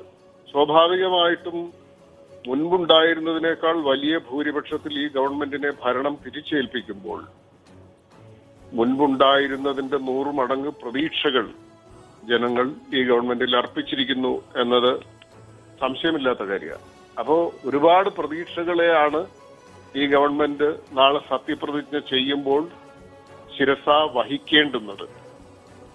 അപ്പോൾ അതിനനുസരിച്ച് ഗവൺമെന്റ് ഉയർന്നേ മതിയാവും. ഓരോ ചുവടിലും ഈ ഗവൺമെന്റിനെ സംബന്ധിച്ച നിരീക്ഷണം സാധാരണ ജനങ്ങളുടെ ഭാഗത്തുനിന്നുണ്ടാവും. തങ്ങളുടെ പ്രതീക്ഷകൾക്കനുസരിച്ച് പ്രവർത്തിക്കുന്ന ഗവൺമെന്റ് ആണോ എന്ന വിലയിരുത്തൽ നിരന്തരം സംഭവിച്ചുകൊണ്ടിരിക്കും. പുതിയ മന്ത്രിമാർ എപ്രകാരമായിരിക്കും? ഇതിനൊരു ഗ്രേസ് പീരീഡ് ഉണ്ട് ഒരു തുടക്കത്തിൽ ഈ കഴിഞ്ഞ ഗവൺമെന്റിന്റെ ഒരു പ്രതിച്ഛായയുടെ ഒരു തുടർച്ചയും പിണറായി വിജയന്റെ ഒരു പ്രസൻസിന്റെ പ്രത്യേകതയും ഒക്കെ കൊണ്ട് തുടക്കത്തിൽ ഒരുപക്ഷെ ഒരു ഒരു ഒരു ഒരു ആദ്യ റൗണ്ട് ഓട്ടമൊക്കെ വലിയ കുഴപ്പമില്ലാതെ കഴിഞ്ഞാൽ ഓരോ ഘട്ടത്തിലും ഗവൺമെന്റിനെ നിശ്ചിതമായി വിമർ വിലയിരുത്തുന്ന ഒരു ഒരവസ്ഥ നിലവിലുണ്ടാവും. അപ്പൊ അത് ജനങ്ങളുടെ ഭാഗത്തുനിന്ന് ഉണ്ടാവുന്നതാണ്. ആ പ്രതീക്ഷയ്ക്കൊത്ത് ഉയരുക എന്ന വലിയ ഉത്തരവാദിത്വം ഈ ഗവൺമെന്റിനുണ്ട്. അതിന് നിർവഹിക്കുമെന്നുള്ളതാണ്. ശൈലജ ടീച്ചറെ നീക്കിയതിനെതിരെ വ്യാപകമായ ഒരു സോഷ്യൽ മീഡിയയിൽ ക്യാമ്പയിൻ നടക്കുന്നു. ഇന്നാകുമ്പോഴേക്കും കുറെ കൂടി ആവേശം ഇതേ ഇടതുപക്ഷ ആനുകൂലികൾക്ക് കൂടി കെ രാധാകൃഷ്ണനെ ദേവസ്വം മന്ത്രിയാക്കിയിരിക്കുന്നു എന്നുള്ളത് വിപ്ലവകരമായ മാറ്റമായിട്ട് അതിനെ കാണുന്നു. പൊതുവെ ഈ മന്ത്രിമാരായി നിശ്ചയിച്ചതിനെ കുറിച്ച് താങ്കളുടെ അഭിപ്രായം എന്താണ്? ആദ്യം പറഞ്ഞത് ശൈലജ ടീച്ചറുടെ കാര്യമാണ്. അതിനൊരു മറുപടി പറയേണ്ടതുണ്ടോ? പറഞ്ഞോളൂ പറഞ്ഞോളൂ. ശൈലജ ടീച്ചറെ അങ്ങനെ ഒരു ഒരു വലിയ ഇമേജിന് ഉടമയാക്കുന്ന തരത്തിലുള്ള പ്രവർത്തനത്തിന് അവസരം നൽകിയത് പാർട്ടിയും സർക്കാരുമാണ്. സർക്കാർ ഒരു ഒരു ഏബിൾ ഗവേണൻസിന്റെ ഒരു സിസ്റ്റം ഉണ്ടാവുകയും അത് ശൈലജ ടീച്ചറിനെ പോലെ ജനങ്ങളുമായിട്ട് നിരന്തരം സമ്പർക്കമുള്ള ഒരു വകുപ്പിന്റെ തലപ്പത്തിരിക്കുന്ന ആളെ കാര്യക്ഷമമായി പ്രവർത്തിക്കാൻ ആ സംവിധാനം വലിയ സപ്പോർട്ട് നൽകുകയും ഒക്കെ ചെയ്തിട്ടുണ്ട്. ശൈലജ ടീച്ചർ എന്ന് പറയുന്നത് ഈ ഗവൺമെന്റിന്റെയും ഈ പാർട്ടിയുടെയും കൂടെ സൃഷ്ടിയാണ്. അതിന് മുൻപുണ്ടായിരുന്ന ശൈലജ ടീച്ചർ അല്ലല്ലോ. മന്ത്രിയായ ശൈലജ ടീച്ചർ ഒഴിയുമ്പോൾ അവർ അവിടെ വേണമായിരുന്നു എന്ന് ആളുകൾക്ക് തോന്നുന്ന തരത്തിലുള്ള ഒരു പ്രവർത്തനം കാഴ്ചവെക്കാൻ കഴിഞ്ഞ ഗവൺമെന്റ് അവർക്കൊപ്പം നിന്നിട്ടുണ്ട്. ആ ഗവൺമെന്റിന്റെ ബലം സ്വാഭാവികമായിട്ടും അവരുടെ പ്രവർത്തനങ്ങളെ വിജയത്തിലെത്തിച്ചിട്ടുണ്ട്. അതുപോലെ പുതിയ ഒരാൾക്ക് ഒരു അവസരം ലഭിക്കുന്നതിൽ എന്താ കുഴപ്പമെന്ന് എനിക്ക് മനസ്സിലാവുന്നില്ല. രണ്ടാമത്തെ വിഷയം കെ രാധാകൃഷ്ണനാണ് ദേവസ്വം മന്ത്രി. അതിൽ എന്തെങ്കിലും പ്രത്യേകത കാണുന്നുണ്ടോ? എന്തെങ്കിലും എന്തെങ്കിലും മെസ്സേജ് അതിലുണ്ട് എന്ന് താങ്കൾ വിശ്വസിക്കുന്നുണ്ടോ? അല്ല കെ രാധാകൃഷ്ണൻ ഒരു ഒരു ഒരു അദ്ദേഹത്തിന്റെ പശ്ചാത്തലം നമുക്കറിയാം. അതിലെ ഒരു മെസ്സേജ് എന്ന് പറയുന്നത് കെ രാധാകൃഷ്ണൻ ഇതിനു മുൻപും വളരെ മികച്ച നിലയിൽ ഈ സംസ്ഥാനത്ത് ഉത്തരവാദിത്തങ്ങൾ വഹിച്ചിട്ടുള്ള ആളാണ്. അദ്ദേഹത്തിന് വളരെ കൃത്യമായി ഈ ചുമതലകൾ നിർവഹിക്കാൻ കഴിയുമെന്ന് തന്നെയാണ് എന്റെ വിശ്വാസം. അതിന്റെ അകത്ത് വേറൊരു മെസ്സേജിനെ നമ്മൾ വ്യാഖ്യാനിച്ചെടുക്കേണ്ടതുണ്ടോ? കെ രാധാകൃഷ്ണൻ എന്ന് പറയുന്ന വ്യക്തിയുടെ ഒരു ജാതിപരമായ പശ്ചാത്തലമോ അത്തരം കാര്യങ്ങളോ ഒന്നും അല്ലല്ലോ നമ്മൾ അത് കെ രാധാകൃഷ്ണൻ ഏത് വകുപ്പ് ഏൽപ്പിച്ചാലും നല്ല രീതിയിൽ പ്രവർത്തിക്കാൻ കഴിവുള്ള വളരെ സമർപ്പിതനായിട്ടുള്ള ഒരു പൊതുപ്രവർത്തകനാണ് തീർച്ചയായും. അദ്ദേഹത്തിന്റെ ക്രെഡൻഷ്യൽസ് അതല്ലേ. അല്പം മുമ്പ് അദ്ദേഹം പറയായിരുന്നു. തൊണ്ണൂറ്റിയാറിൽ ഞാൻ വരുമ്പോൾ ഒരു ഏരിയ കമ്മിറ്റി മെമ്പർ മാത്രമായിരുന്നു ഡിവൈഎഫ്ഐയിലൊക്കെ പ്രവർത്തിച്ച പരിചയം മാത്രമേ. പിന്നീട് കെ രാധാകൃഷ്ണൻ ജില്ലാ സെക്രട്ടറി ആയി സി പി ഐ എമ്മിന്റെ തൃശ്ശൂർ അത് കഴിഞ്ഞ് നിരവധി പദവികൾ സംസ്ഥാന സമിതി വരെ അദ്ദേഹം എത്തി. അല്ല ക്ഷമിക്കണം ഇപ്പോൾ കേന്ദ്ര കമ്മിറ്റി വരെ അദ്ദേഹം എത്തി എന്നുള്ളതാണ്. വലിയ മാറ്റമാണ് ഉണ്ടായിരിക്കുന്നത്. ശ്രീ രഞ്ജി പണിക്കർ വളരെ നന്ദി പ്രതികരിച്ചതിന്. എനിക്ക് അവിടെ രണ്ടുപേര് അനിൽ ബോസും അതുപോലെ ഷി ജേക്കബ് ജോർജും കാത്തുനിൽക്കുകയാണ്. അതിനു മുമ്പ് ചിഞ്ചു റാണി പുതിയ മന്ത്രി നമ്മോടൊപ്പം ഉണ്ട്. ശ്രീമതി ചിഞ്ചു റാണി നാളെ സത്യപ്രതിജ്ഞ ചെയ്ത് അധികാരമേൽക്കാൻ പോവുകയാണ്. ഏതാ വകുപ്പ് എന്ന് പാർട്ടി അറിയിച്ചോ? ഇല്ല ഇല്ല ഇല്ല. അതൊക്കെ പാർട്ടി തീരുമാനിക്കും. ഇതുവരെ അറിയിച്ചിട്ടില്ല. കെ ആർ ഗൗരിയമ്മയ്ക്ക് ശേഷം സി പി ഐ എമ്മിൽ നിന്നുള്ള ആദ്യത്തെ ക്ഷമിക്കണം സി പി ഐയിൽ നിന്നുള്ള ആദ്യത്തെ വനിതാ മന്ത്രിയാണ് ചിഞ്ചുറാണി അതെ. അത്ഭുതം തോന്നുന്നുണ്ടോ? അത്ഭുതം തോന്നുന്നില്ല. ഞാൻ പാർട്ടിയുടെ കേന്ദ്ര കമ്മിറ്റി അംഗമാണ്. പാർട്ടിയുടെ സംസ്ഥാന എക്സിക്യൂട്ടീവ് അംഗമാണ്. അത്രയും കാലം ഞാൻ അക്കാര്യത്തിലല്ല അത്ഭുതം. ഇത്രയും കാലം പാർട്ടിക്ക് ഒരു വനിതയെ പരിഗണിക്കാൻ തോന്നിയില്ലല്ലോ എന്നുള്ളൊരു തിരിച്ചറിവല്ലേ അതിൽ നിന്നുണ്ടാകുന്നത് അതെ ഇപ്പൊ അതിന്റെ ഒരു അവസരം വന്നു. അപ്പൊ പാർട്ടി നമ്മളെ പരിഗണിച്ചു. അതെ. ആ അവസരം പൂർണമായും ഉപയോഗിക്കും. മൃഗസംരക്ഷണം ഒക്കെ മൃഗസംരക്ഷണമൊക്കെ ആണെന്ന് തോന്നുന്നു അല്ലേ വകുപ്പ്? ഏതാണ്ട് അങ്ങനെ ധരണയായില്ലേ? ഇല്ല ഇല്ല. അതൊക്കെ പത്രമാധ്യമങ്ങളല്ലേ അതെല്ലാം പറയുന്നത്. നമ്മുടെ പാർട്ടി ഇതുവരെ പറഞ്ഞിട്ടില്ല ഏത് വകുപ്പാണ് എല്ലാം പുതുമുഖങ്ങളെയാണ്. സി പി എമ്മും സി പി ഐയും ഇപ്പൊ ഇത്തവണ അല്ലെ? അങ്ങനെ ബോധപൂർവം എടുത്ത തീരുമാനമാണ്. നിങ്ങൾക്ക് നയരൂപീകരണ സമിതിയിൽ അംഗങ്ങളാണല്ലോ. അതെ. അങ്ങനെ ബോധപൂർവം എടുത്ത തീരുമാനമാണ്. പുതിയ ആളുകൾ വരട്ടെ എന്നുള്ളത്. ശരി വളരെ നന്ദി ശ്രീമതി ചിഞ്ചു റാണി. ശ്രീ ജേക്കബ് ജോർജ് എത്ര മാർക്ക് കൊടുക്കും പിണറായി വിജയന്റെ ഈ ഇരുപത്തിയൊന്ന് അംഗ മന്ത്രിസഭയ്ക്ക് മന്ത്രി മന്ത്രി മന്ത്രിസഭയ്ക്ക് അല്ലെങ്കിൽ മന്ത്രിമാർക്ക്? അങ്ങനെ ചോദിച്ചാലേ മന്ത്രിമാർക്ക് മാർക്ക് കൊടുക്കാറായില്ലല്ലോ. നമ്മൾ മാർക്ക് ഇടാൻ തുടങ്ങുന്നേ ഉള്ളൂ. മാർക്ക് ഇട്ട് വരട്ടെ. അത് കഴിഞ്ഞിട്ട് പോരെ. മാർക്ക് മാർക്ക് എല്ലാം കൂട്ടി നോക്കണ്ടായോ? കൊള്ളാമോ? ഈ ഒരു കോമ്പിനേഷൻ കൊള്ളാമോ? താങ്കളുടെ മണ്ഡലം ഞാൻ നേരത്തെ എപ്പോഴും പറയുന്നതാണല്ലോ വീണ ജോർജ്. താങ്കളുടെ എം എൽ എ ആണ് വീണ ജോർജ്. വീണ ജോർജ് ആണ് പുതിയ ആരോഗ്യമന്ത്രി. അതെ അതെ. വീണ ജോർജ് ഉൾപ്പെടെ നമ്മുടെ പുതിയ മന്ത്രിമാർ ഉൾപ്പെടെ രാധാകൃഷ്ണൻ ഉൾപ്പെടെ രാധാകൃഷ്ണനൊക്കെ എന്ത് നല്ല ആ സെലക്ഷന്റെ ഒരു സൗന്ദര്യം നികേഷ്. രാധാകൃഷ്ണൻ. അത് നമുക്കൊന്നും വിശ്വസിക്കാനാവാത്ത കാര്യമാണ് ഇതൊക്കെ. ദേവസ്വം ബോർഡിന്റെ മന്ത്രിയായിട്ട് നമ്മളെ കെ രാധാകൃഷ്ണൻ ഇനി ഇരിക്കുക എന്നൊക്കെ പറഞ്ഞാൽ ഞാൻ ഞാനിരിക്കുന്നത് തിരുവനന്തപുരത്ത് അനന്തപുരിയിലെ തിരു തിരുവിതാംകൂറിലാണ് നികേഷ് തിരുവിതാംകൂറിലെ നമുക്കറിയാമല്ലോ രാജാവിന്റെതാണ് രാജ്യം. രാജാവിന്റെതാണ് രാഷ്ട്രീയം. അന്ന് രാഷ്ട്രീയത്തിൽ ജനങ്ങൾക്ക് പങ്കില്ല. ജനങ്ങൾക്ക് ആവുകൂടി ശക്തി തരുന്നത് ജാതികൾ മാത്രമാണ്. ഈഴവ സമുദായം ക്രിസ്ത്യൻ സമുദായം മുസ്ലിം സമുദായം അവർ ചേർന്ന നിവർത്തന പ്രസ്ഥാനം എന്നൊക്കെ പറഞ്ഞ് അത് മാത്രമേ ഉള്ളൂ. അതിന് മാത്രമേ ഉള്ളൂ ശക്തി. അതിൽ നിന്നാണ് രാഷ്ട്രീയം ഇങ്ങോട്ട് ഉരുത്തിരിയുന്നത് ഈ ജാതികളിൽ നിന്ന്. അന്ന് ഇവിടുത്തെ ജനങ്ങളും രാഷ്ട്രവുമെല്ലാം ശ്രീപത്മനാഭന്റേതായിരുന്നു. ഇവിടുത്തെ ശ്രീപത്മനാഭ സ്വാമിയുടേതായിരുന്നു രാജ്യം മുഴുവൻ. തിരുവിതാംകൂർ മഹാരാജ്യം മുഴുവൻ. അങ്ങനത്തെ ഒരു കാലഘട്ടത്തിൽ നിന്നാണ് ഇവിടെ രണ്ടായിരത്തി ഇരുപത്തി ഒന്നിലെത്തുമ്പോൾ ഇടതുപക്ഷ ഭരണത്തിന് കീഴിൽ സാക്ഷാൽ നമ്മുടെ കെ രാധാകൃഷ്ണൻ ദേവസ്വം ബോർഡ് മന്ത്രിയാകുന്നു എന്ന് പറയുമ്പോൾ തീർച്ചയായിട്ടും അതൊരു വലിയ സംഭവം എന്നാണ് സൗന്ദര്യമുള്ള സാധനം തന്നെയാണ് എന്ന് പറയാൻ വയ്യ നികേഷ് അല്ല എന്താണ് ഒരു ദളിത് വിഭാഗത്തിൽപ്പെട്ടയാൾ ദേവസ്വം മന്ത്രിയാകുന്നതിലൂടെ പ്രത്യേകത കാണുന്നത് ഷി ജേക്കബ് ജോർജ്. തിരുവനന്തപുരത്ത് നിരവധി മന്ത്രിസഭകൾ കണ്ടിട്ടുള്ള ആളാണല്ലോ താങ്കൾ. നിരവധി മന്ത്രിമാരുമായി ഇടപഴകിയിട്ടുള്ള ആളാണല്ലോ. ദേവസ്വം മന്ത്രിയായി ഒരു കെ രാധാകൃഷ്ണൻ എന്ന ദളിത് മന്ത്രി ദളിത് ദളിത് വരുമ്പോൾ അവളിൽ എന്ത് പ്രത്യേകതയാണുള്ളത്? അല്ല ഇവിടെ അല്ല ഞാൻ അതായത് വലിയ പ്രത്യേകതയുണ്ട്. പക്ഷേ ഞാനത് അത് സി പി എമ്മിന് മാത്രമായിട്ട് മൊത്തം ക്രെഡിറ്റ് കൊടുക്കാൻ ഉദ്ദേശിക്കുന്നു ഉദ്ദേശിക്കുന്നില്ല. കെ ഉണ്ട്. മന്ത്രിമാരുണ്ട്. വെള്ള ഈശ്വരനുണ്ട് ദാമോദരൻ കാളാശ്ശേരി ഉണ്ട് കെ കെ ബാലകൃഷ്ണനുണ്ട് കെ രാ- കെ കരുണാകരനുണ്ട്. സവർണ സവർണ കുലജാതനായ കെ കരുണാകരൻ കെ കരുണാകരൻ പിന്നോക്ക വിഭാഗങ്ങളുടെ രക്ഷിതാവ് എന്ന നിലയ്ക്ക് അദ്ദേഹം അതിന് അതിനുവേണ്ടി മനഃപൂർവം ശ്രമിച്ചില്ല കെ കരുണാകരൻ പിന്നോക്ക വിഭാഗമാണ് എടുത്തിട്ടുള്ളത്. ദേവസ്വം മന്ത്രിയല്ല എടുത്തിട്ടുള്ളത്. അല്ലല്ല ദേവസ്വം വകുപ്പെടുത്തിട്ടില്ല പിന്നോക്ക വിഭാഗം ദേവസ്വം വകുപ്പെടുത്തിട്ടില്ല ഞാൻ പറഞ്ഞത് പിന്നോക്ക വിഭാഗങ്ങളുടെ മന്ത്രിയായിരിക്കുന്നതിൽ അഭിമാനം കൊണ്ട. സ്വാഭാവികമായ തരത്തിൽ തന്നെ അഭിമാനം കൊണ്ട നേതാവാണ് നമ്മൾ നമ്മുടെ അൽബോസ് കേൾക്കട്ടെ കേട്ടോ അൽബോസേ. അൽബോസ് കൂടെ കേൾക്കാനാണ് ഞാൻ ഈ പറയുന്നത് അത് അത് അത് സ്വാഭാവികമായ ഒരു തീരുമാനമായിരുന്നു അദ്ദേഹത്തെ. അതും കൂടെ നമ്മൾ ഓർമ്മി ഓർമ്മിക്കണം എന്നാണ് എനിക്കിപ്പോ പറയാനുള്ളത്. ഷാനിൽ ബോസ് ഇന്ന് മുഖ്യമന്ത്രി പ്രതിപക്ഷത്തെ വിമർശിച്ചു. താങ്കൾക്ക് ഈ കാര്യങ്ങളിലെല്ലാം പറയാനുണ്ടാവും പറഞ്ഞോളൂ മറുപടി. എന്നിട്ട് എന്റെ ചോദ്യം കൂടി ചോദ്യത്തിന് കൂടി മറുപടി പറയും. ഇന്ന് മുഖ്യമന്ത്രി വിമർശിച്ചു കളഞ്ഞു. നിങ്ങൾക്ക് അഞ്ചാറ് പേരൊന്നും വരണ്ട. ഒരാൾ പേരിന് വന്നിരുന്നു എങ്കിൽ അത് ഒരു സർക്കാരിന്റെ തുടക്കത്തിലുള്ള ഒരു മെച്ചപ്പെട്ട രീതിയിലുള്ള ഒരു സഹകരണമായി വിലയിരുത്തപ്പെടുമായിരുന്നു. അത് ചെയ്യാത്തത് നീതികേടായിപ്പോയി. ഇവിടെ ഈ ചർച്ചയിൽ ഞാൻ പിന്നെ സൂമിൽ പങ്കെടുക്കുന്നത് കൊണ്ട് ആളുകളെ നേരിട്ട് കാണാൻ കഴിഞ്ഞിട്ടില്ല നേരിട്ടാണോ അല്ലാതെയാണോ അവർ പങ്കെടുക്കുന്നതെന്ന് എനിക്കറിയില്ല. എന്തായാലും ഈ ചർച്ചയിൽ പങ്കെടുത്ത പുതിയ ഗവൺമെന്റ് ഭാഗമാകുന്ന മന്ത്രിമാർ അത് ശ്രീ കെ രാധാകൃഷ്ണനാണെങ്കിലും അതോടൊപ്പം ചിഞ്ചുറാണി ആണെങ്കിലും മറ്റ് മന്ത്രിമാരെ ആണെങ്കിലും പ്രത്യേകമായി അഭിനന്ദിക്കാൻ ഞാൻ ഈ അവസരം ഞാൻ കൃത്യമായി ഉപയോഗിക്കുക പിന്നെ ചർച്ചയിൽ ഉടനീളം ഞാൻ ശ്രദ്ധിച്ചുകൊണ്ടിരുന്നപ്പോൾ കെ രാധാകൃഷ്ണൻ എന്ന കേരളത്തിലെ മുൻ മന്ത്രി മുൻ സ്പീക്കർ അദ്ദേഹം വീണ്ടും മന്ത്രിയാകുന്നു. വകുപ്പുകൾ നിശ്ചയിച്ചിട്ടില്ല എന്നാണ് അദ്ദേഹം പറയുന്നത്. എന്തായാലും കിട്ടുന്ന വിവരങ്ങൾ അനുസരിച്ച് ദേവസ്വം എന്നുള്ള നിലയിലാണ് ഇവിടെ ചർച്ചകൾ നടന്നത്. ഈ ചർച്ചയിൽ ഏറിയ സമയവും നികേഷ് ശ്രദ്ധിച്ചത് അത് പ്രത്യേകമായ ഒരു മെസ്സേജാണ്. അത് വലിയൊരു വിപ്ലവമാണ്. ആ വിപ്ലവത്തിന് പുതിയ മാനങ്ങൾ ചേർക്കുന്നതിന് വേണ്ടിയാണ് ശ്രമിച്ചത്. ആ ശ്രമത്തിൽ അതിനോടൊപ്പം ചേർന്ന് നിൽക്കാത്ത ഞാൻ മനസ്സിലാക്കുന്നത് ശ്രീ രഞ്ജിത്ത് ചലച്ചിത്ര സംവിധായകനാണ് ഈ ചർച്ചയിൽ ഒന്ന് പങ്കെടുത്തത്. മറ്റതൊന്ന് എനിക്ക് വളരെ ഇഷ്ടമുള്ള എന്റെ ജില്ലക്കാരനായ ശ്രീ പണിക്കരുമാണ്.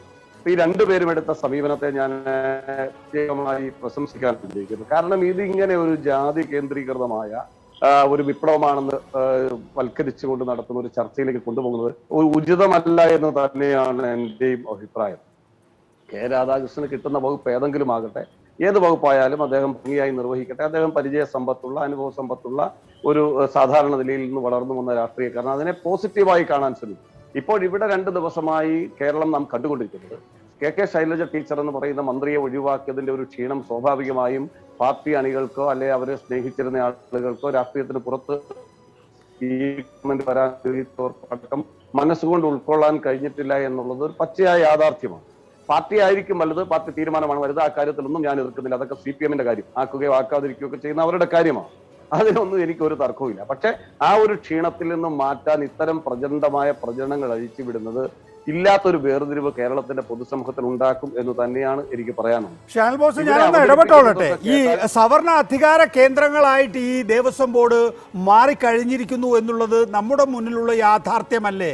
ഈ കഴിഞ്ഞ പിണറായി വിജയൻ സർക്കാരാണ് അവിടെ അമ്പലത്തിനായി അമ്പലത്തിനുള്ളിൽ അതിന്റെ ദളിത് പിന്നോക്ക വിഭാഗങ്ങളെ അവിടെ കയറ്റുന്നതിന് വേണ്ടിയിട്ടുള്ള ബോധപൂർവമായ ശ്രമം നടത്തിയിട്ടുള്ളത്. അതിൽ പിന്നോക്ക വിഭാഗങ്ങളെല്ലാം തന്നെയും പിണറായി വിജയനെ അകമഴിഞ്ഞ രീതിയിൽ പിന്തുണയ്ക്കുകയും ചെയ്തിട്ടുണ്ട്. പല ഘട്ടങ്ങളിലും ചർച്ചകളിൽ നമുക്കത് കാണാം. അവരുടെ വാർത്താ സമ്മേളനങ്ങളിലും നമുക്കത് കാണാം. ഇവിടെ മറ്റൊരു നീക്കമാണ് നടത്തിയിരിക്കുന്നത്. ഓരോ നീക്കത്തിനും ഓരോ പ്രത്യേകതയുണ്ടല്ലോ. ഈ നീക്കത്തിലൂടെ ദേവസ്വം മന്ത്രിയായി ഒരു പിന്നോക്കക്കാരൻ വരികയാണ്. അത് നമുക്ക് എന്തിനാണ് പറയാണ്ടിരിക്കേണ്ട കാര്യം?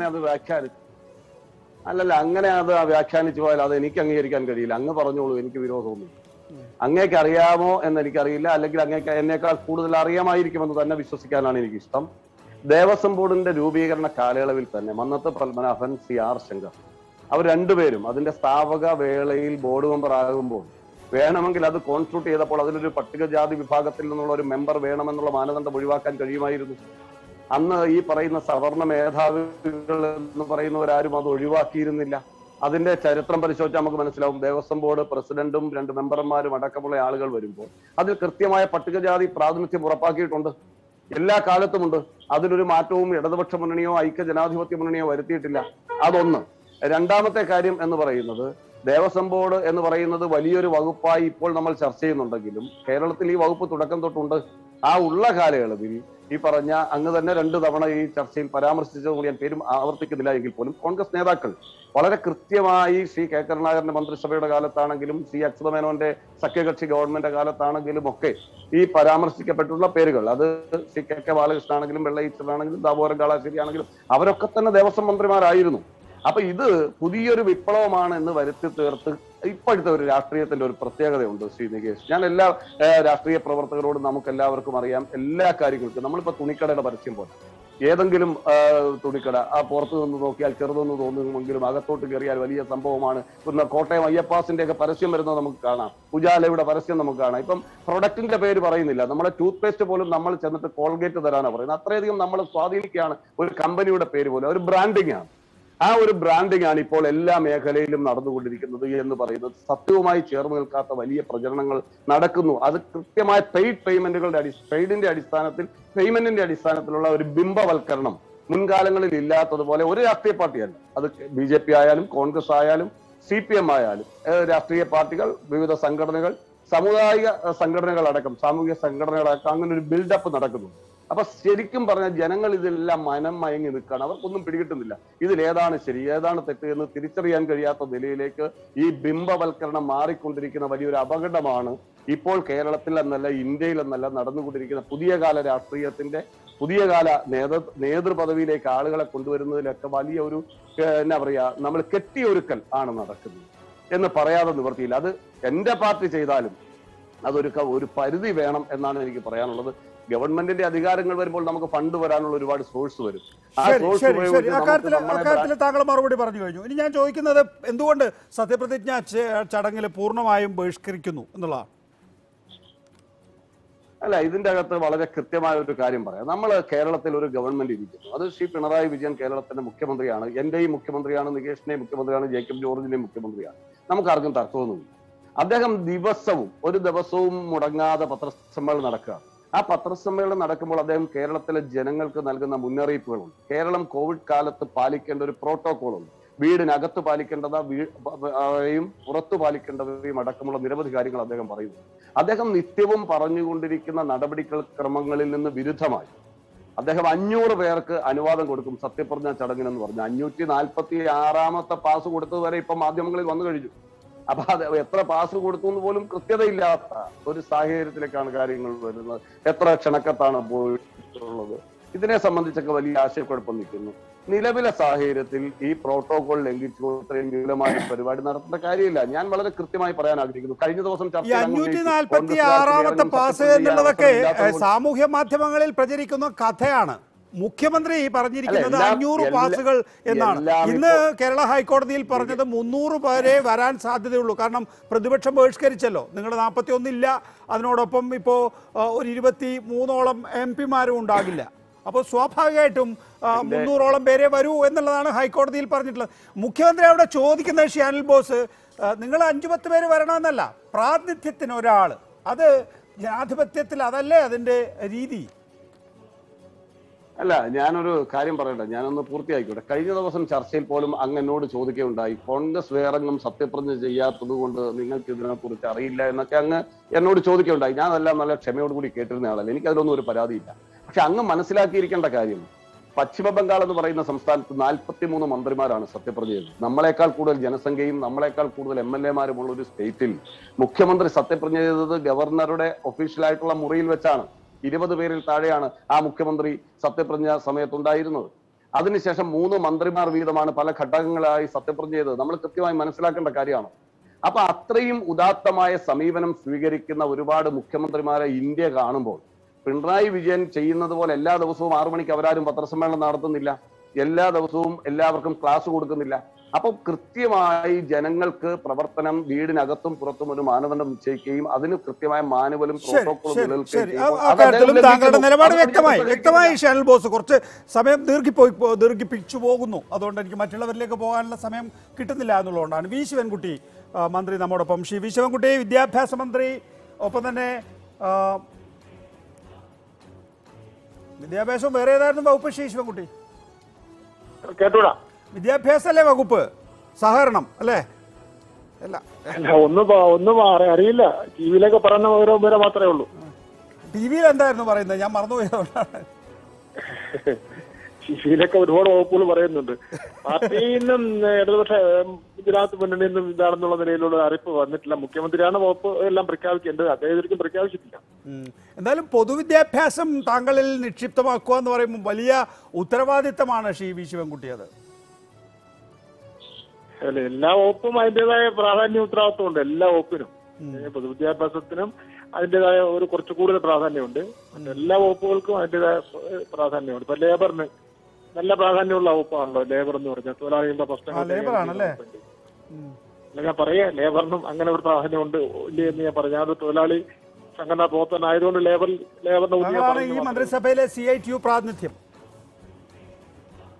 ആ സ്റ്റേറ്റിന്റെ സംസ്ഥാന ഭാരവാഹിയായിട്ടുള്ള ഞാൻ മാത്രമാണല്ലോ അതെ. സോ- സാമൂഹ്യ മാധ്യമങ്ങളൊക്കെ ശ്രദ്ധിക്കാറുണ്ടോ? കേട്ടൂടാ. സോഷ്യൽ മീഡിയ ഒക്കെ ശ്രദ്ധിക്കാറുണ്ടോ? കുറച്ചൊക്കെ ശ്രദ്ധിക്കാറുണ്ട്. നല്ല ട്രോൾ വരുന്നുണ്ട്. എന്താണ്? എന്ത് ചുമ്മാ ആളുകൾക്ക് ട്രോൾ ചെയ്യാൻ ഇന്നിപ്പോ ശിവൻകുട്ടിയാണ് എന്ന് തോന്നിയാൽ ഇന്ന് ശിവൻകുട്ടിയുടെ പിന്നാലെ പോവും. അതിലൊന്നുമില്ല. ഒരു മികച്ച പ്രകടനം കാഴ്ചവെച്ച് കേരളത്തിലെ പൊതുവിദ്യാഭ്യാസ രംഗത്ത് ഒന്നാം പിണറായി സർക്കാർ വലിയ മുന്നേറ്റമാണല്ലോ ശിവ ശിവൻകുട്ടി ഉണ്ടാക്കിയത്. അതെ അതെ. ആര്? നമ്മുടെ സി രവീന്ദ്രനാഥിന്റെ കാലഘട്ടത്തിൽ. അതെ അതെ. ക്ലാസ്സുകൾ ക്ലാസ്സുകൾ എന്താ ചെയ്തത്? നമ്മൾ ക്ലാസ്സുകൾ ഡിജിറ്റൽ ക്ലാസ് റൂമുകളാക്കി. ഡിജിറ്റൽ. ക്ലാസ് റൂമുകൾ. അതെ. അപ്പോൾ ആ ദൗത്യം താങ്കൾ വീണ്ടും നിർവഹിക്കുക അല്ലെങ്കിൽ രണ്ടാമതായി നിർവഹിക്കുക എന്ന് പറയുമ്പം ആ ആ ഒരു ലെഗസി പ്രതീക്ഷിക്കും. അല്ലെങ്കിൽ സി രവീന്ദ്രനാഥിനേക്കാളും മികച്ച പ്രകടനം കാഴ്ചവെച്ചാൽ മാത്രമാണ് വി ശിവൻകുട്ടിയുടെ ഒരു ഒരു മികവ് പുറത്തെടുക്കാൻ കഴിയും. അപ്പോൾ അഹോരാത്രം പണിയെടുക്കേണ്ടി വരും ശ്രീ വി ശിവൻകുട്ടി താങ്കൾക്ക്. അല്ല അതിൽ സന്തോഷമല്ലേ? അത് ഒന്നും പറയാനായിട്ടില്ല അല്ലേ.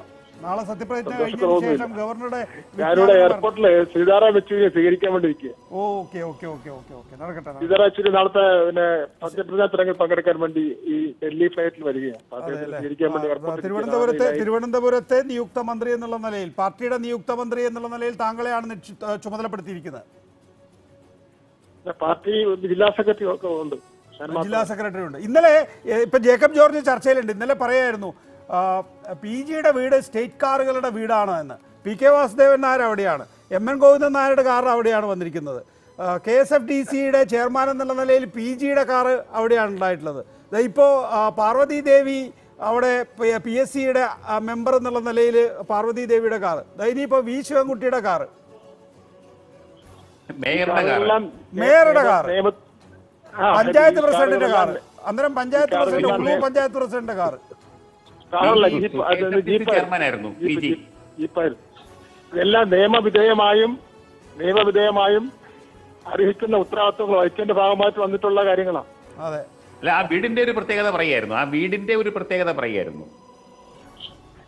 അല്ലാതെ ജേക്കബ് ജോർജ് പല കാര്യങ്ങളും പറയുന്നുണ്ട്. ഇപ്പം മത്സരം നടന്ന അവസരത്തിൽ തന്നെ പറഞ്ഞെന്താ ശിവൻകുട്ടി പിന്നെ ജില്ലാ നേതാവാണ്. അവിടെ നേമത്ത് പിന്നെ ഈ രണ്ട് സ്ഥാനാർത്ഥിയും കൂടെ ഏറ്റുമുട്ടാൻ യോഗ്യനാണോ എന്നൊക്കെ സംശയം പ്രകടിപ്പിക്കുക വന്നു. Yes, yes, അങ്ങോട്ട് yes, പോകണം ആ അതൊക്കെ ഓർത്തു വെച്ചിട്ടുണ്ട് ഷീ ജേക്കബ് ജോർജ്. അങ്ങനെ പറഞ്ഞിട്ടുണ്ടെങ്കിൽ. അങ്ങനെ പറഞ്ഞോ? എനിക്ക് ഓർമ്മയില്ലല്ലോ. ഇവിടുത്തെ ചർച്ച നമ്മുടെ ചർച്ച പറഞ്ഞിട്ടുണ്ടോ ഇല്ല ഇവിടുത്തെ ചർച്ചയിലില്ല. ഇല്ലില്ല ഞാൻ ഇവിടെ ചർച്ചയിലേ പങ്കെടുത്തിട്ടുള്ളൂ കഴിഞ്ഞിടയ്ക്കൊക്കെ ഏതായാലും. മറ്റു കാര്യങ്ങളിലേക്ക്. ശ്രീ കെ ടി കുഞ്ഞുകണ്ണൻ നോക്കൂ ഇതിലൊന്നും വലിയ അത്ഭുതവുമില്ല. നിങ്ങൾ ഈ കാര്യങ്ങളൊന്നും ബ്രാൻഡ് ചെയ്ത് അവതരിപ്പിച്ച ആളെ തട്ടിപ്പ് ആളെ ആളെ ആളെ എന്താ പറയുക അങ്ങനെ തട്ടിപ്പാക്കരുത്. ബിംബവൽക്കരിക്കാൻ ശ്രമിക്കരുത്. ബിംബവൽക്കരിക്കാൻ ശ്രമിക്കും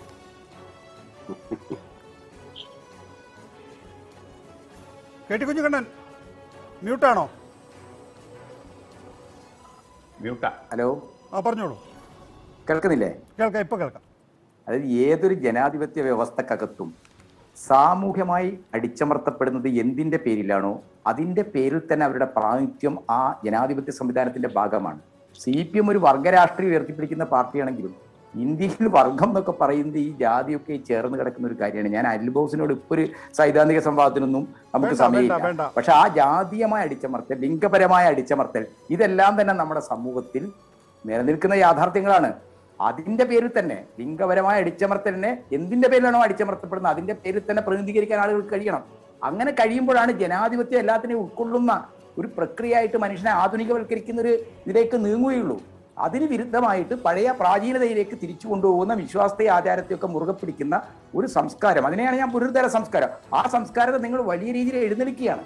അങ്ങനെയുള്ള ഒരു സന്ദർഭത്തിൽ ഒരു നവോത്ഥാന കേരളം നവകേരളം നവോത്ഥാന കേരളമാണ്. ആ നവോത്ഥാന കേരളത്തിന്റെ ഉൾക്കാഴ്ചകളും ഈ മന്ത്രിസഭാ രൂപീകരണത്തിലും മന്ത്രിമാരുടെ വകുപ്പ് തീരുമാനത്തിനൊക്കെ ഉണ്ടായിരിക്കും എന്നുള്ളതാണ് എന്റെ ഒരു നിരീക്ഷണം. പക്ഷേ ശ്രീ അനിൽ ബോസ് പറയുന്നത് ഇത്രയേ ഉള്ളൂ. മന്നത്തിന്റെയും ആർ ശങ്കറിന്റെയും കാലഘട്ടത്തിൽ ഈ ദേവസ്വം ബോർഡ് രൂപീകരിക്കുമ്പോൾ അവിടെ ഒരു പിന്നോക്ക ജാതിക്കാരനെ വേണമെങ്കിൽ അന്ന് ഒഴിവാക്കാമായിരുന്നു. ആ നിലയിലുള്ള ജാതി ചിന്തകളാണ് അവർക്കുണ്ടായിരുന്നത് എങ്കിൽ എന്നാണ്. അപ്പോൾ അതുണ്ടായിരുന്നില്ല. അതുകൊണ്ട് ഇതൊന്നും വലിയ സംഭവമായി ബ്രാൻഡ് ചെയ്ത് അവതരിപ്പിക്കേണ്ട കാര്യമില്ല. എന്നാണ്. പിന്നെ നേരത്തെ നമ്മൾ പറഞ്ഞതുപോലെ മൂന്ന് ദേവസ്വം മന്ത്രിമാർ പിന്നോക്ക വിഭാഗത്തിൽ നിന്നുണ്ടായിട്ടുണ്ട്. ഇതേതെങ്കിലും തരത്തിൽ ബ്രാൻഡ് ചെയ്യപ്പെട്ടു പോകുമോ എന്നൊരു സംശയം എന്തായാലും അല്ലെങ്കിൽ ഒരു ആശങ്ക ഷാനൽ ബോസിന്റെ വാക്കുകളിലുണ്ട്. അല്ല അങ്ങനല്ല. ബ്രാൻഡ് ചെയ്യാനുള്ള പരിശ്രമം സോഷ്യൽ മീഡിയയിൽ അടക്കം നടക്കുന്നത് ശ്രദ്ധയിൽപ്പെടുന്നതുകൊണ്ട് പറഞ്ഞു ഉള്ളൂ. അത്തരം ഒരു മറുപടി. അത് അത് അനിൽ ബോസിനും ഈ ചർച്ചയിൽ പങ്കെടുക്കുന്ന എല്ലാവർക്കും അറിയാം. നമ്മൾ ഇത്തരം വിഷയങ്ങൾ വിശകലനം ചെയ്യുമ്പോൾ അതിന്റെ എല്ലാ വശങ്ങളിലും ചെന്ന് സംസാരിക്കും. നമ്മൾ ഊന്നേണ്ട വശങ്ങളിൽ ഊന്നി തന്നെ സംസാരിക്കും. അപ്പൊ നമ്മൾ കാണേണ്ട ഒരു പ്രശ്നം ഇത്രയേ ഉള്ളൂ. ഇടതുപക്ഷ ജനാധിപത്യ മുന്നണി ഒരു നവകേരള നിർമ്മിതിയുടെ സാമ്പത്തിക രാഷ്ട്രീയ സാംസ്കാരിക അജണ്ടയുമായിട്ടാണ് പ്രവർത്തിക്കുന്നത്. അപ്പൊ തീർച്ചയായിട്ടും നവോത്ഥാനപരമായ ഉത്തരവാദിത്തങ്ങൾ എല്ലാവർക്കും അറിയാലോ നികേഷ് ഇവിടെ ആവർത്തിച്ചല്ലോ. കഴിഞ്ഞ സർക്കാർ ദേവസ് ക്ഷേത്രങ്ങളിൽ ദേവസ്വം ക്ഷേത്രങ്ങളിൽ ദളിതുകളെ പൂജാരിയാക്കി. അങ്ങനെ പൂജാരിയാക്കിയപ്പോ അനിൽ ബോസിന് അറിയാമല്ലോ ആലപ്പുഴ ചേർത്തലക്കടുത്താണ് ഒരു ക്ഷേത്രത്തിൽ. ആ ശാന്തിക്കാരൻ അവിടെ ശാന്തി നടത്തുകയാണെങ്കിൽ ഞങ്ങൾ അവിടെ വരില്ല എന്ന് പറഞ്ഞുകൊണ്ട് സംഘപരിവാറിന്റെ ഹിഡൻ അജണ്ടയിൽ അവിടെ വലിയ രീതിയിൽ വിശ്വാസികളുടെ ഭക്തജനങ്ങളുടെ സമ്മേളനം വരെ സംഘടിപ്പിക്കുന്ന യോഗം വരെ സംഘടിപ്പിക്കുന്ന അവസ്ഥയുണ്ടായി.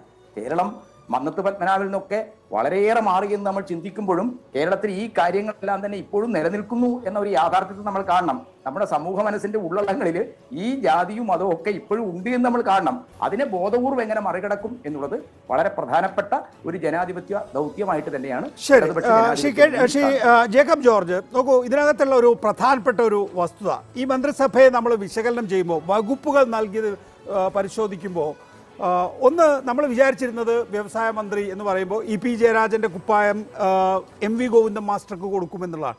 പക്ഷേ നമുക്കറിയാം കഴിഞ്ഞ പാർട്ടി കോൺഗ്രസിലാണ് കെ എൻ ബാലഗോപാലും പി രാജീവും സംസ്ഥാന സെക്രട്ടേറിയറ്റിലേക്ക് വരുന്നത്. അതായത് നമ്മൾ വിളിക്കുന്ന പഴയ തലമുറ എന്ന് വിളിക്കുന്നവരുണ്ടല്ലോ.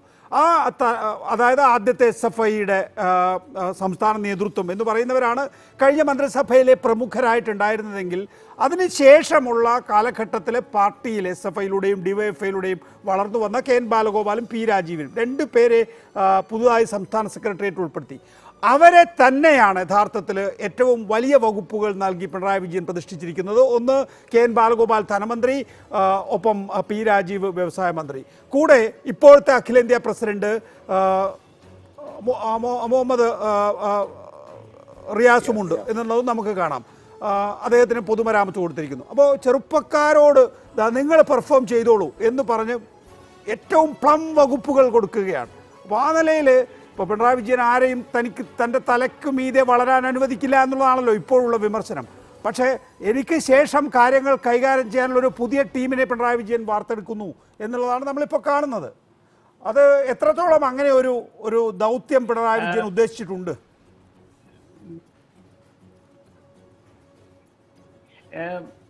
നികേഷ് ഈ മാനേജ്മെന്റ് പ്രിൻസിപ്പിൾസിലെ മാനേജ്മെന്റ് പുസ്തകങ്ങളിലൊക്കെ സാധാരണ കാണുന്ന രണ്ട് പദങ്ങളാണ് മിഷൻ വിഷൻ. ഒരു ഒരു സ്ഥാപനം നമ്മൾ തുടങ്ങുമ്പോൾ ആ സ്ഥാപനത്തിനൊരു വിഷൻ ഉണ്ടാവണം കാഴ്ചപ്പാട് ഉണ്ടാകണം. എന്താണ് നിങ്ങളുടെ ബിസിനസിന്റെ ലക്ഷ്യം? എന്താണ് ഉദ്ദേശം? മിഷൻ വേണം. മിഷൻ എന്ന് വെച്ചാൽ മിഷൻ എന്ന് വെച്ചാൽ നിങ്ങളുടെ പരിപാടി എന്താണ്? ഏത് ഏത് വഴിയിലൂടെയാണ് നിങ്ങൾ ആ മിഷനിലേക്ക് എത്തുക? ഇത് രണ്ടും പ്രധാനമാണ്.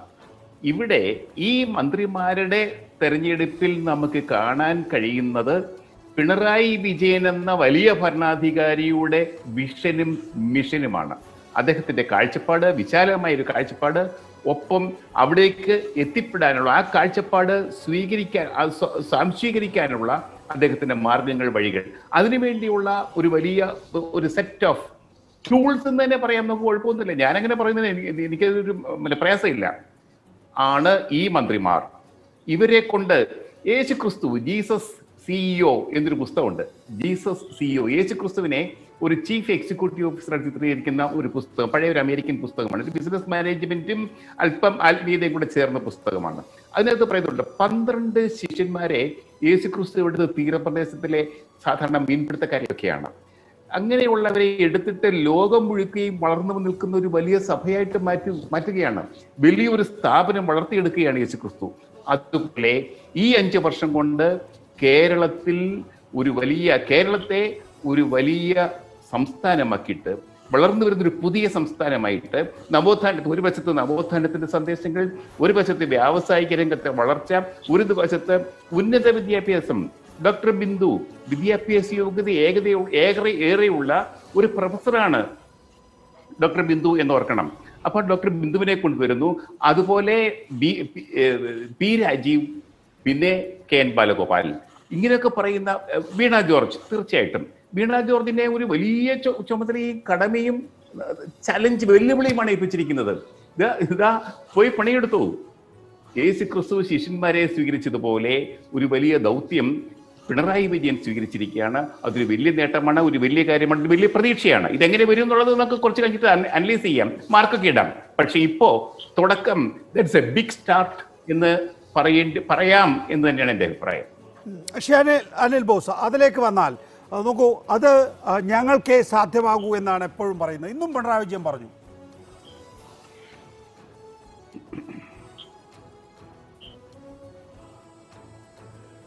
ഷെൽ ബോസ്. കേട്ടില്ല അത് ഞങ്ങൾക്കേ സാധ്യമാകൂ എന്നാണ് സി പി എം തുടർച്ചയായി പറയുന്നത്. ഇന്നും പിണറായി വിജയൻ പറഞ്ഞു. അല്ല അത് അദ്ദേഹത്തിന് പറയുന്നതിൽ ഒരു തെറ്റ് ഞാൻ കാണുന്നില്ല. പുതിയ മന്ത്രിമാരെ അദ്ദേഹം വെക്കുമ്പോൾ പുതിയൊരു ടീം അത് നല്ല രീതിയിൽ വരുന്നു എന്ന് പ്രതീക്ഷിക്കുന്നത് ആ ടീമിന്റെ നായകൻ എന്നുള്ള നിലയിൽ അദ്ദേഹം അങ്ങനെ തന്നെ പറയണം. ആ ടീം നന്നായി പോകട്ടെ കേരളത്തിന് ഗുണകരമായി അവർക്ക് പ്രവർത്തിക്കാൻ കഴിയട്ടെ എന്ന് തന്നെയാണ് ഒരു ക്രിയാത്മകമായ പ്രതിപക്ഷം എന്നുള്ള നിലയിൽ പ്രവർത്തിക്കാൻ ആഗ്രഹിക്കുന്നതിന്റെ ഭാഗമായുള്ള വ്യക്തി എന്നുള്ള നിലയിൽ എനിക്ക് പറയാനുള്ളത്. കേരളത്തിൽ ഈ പറയുന്നത് പോലെയുള്ള ചെറുപ്പക്കാർ ഞാൻ പറയട്ടെ കേരളത്തിലെ ഏറ്റവും പ്രായം കുറഞ്ഞ സ്പീക്കർ വി എം സുധീരൻ.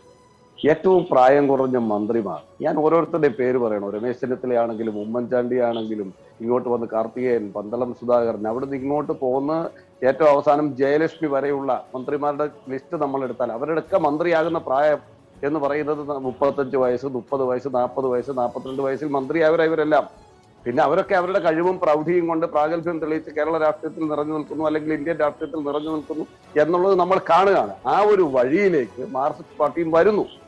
എന്ന് മാത്രമേ കാണേണ്ടതുള്ളൂ.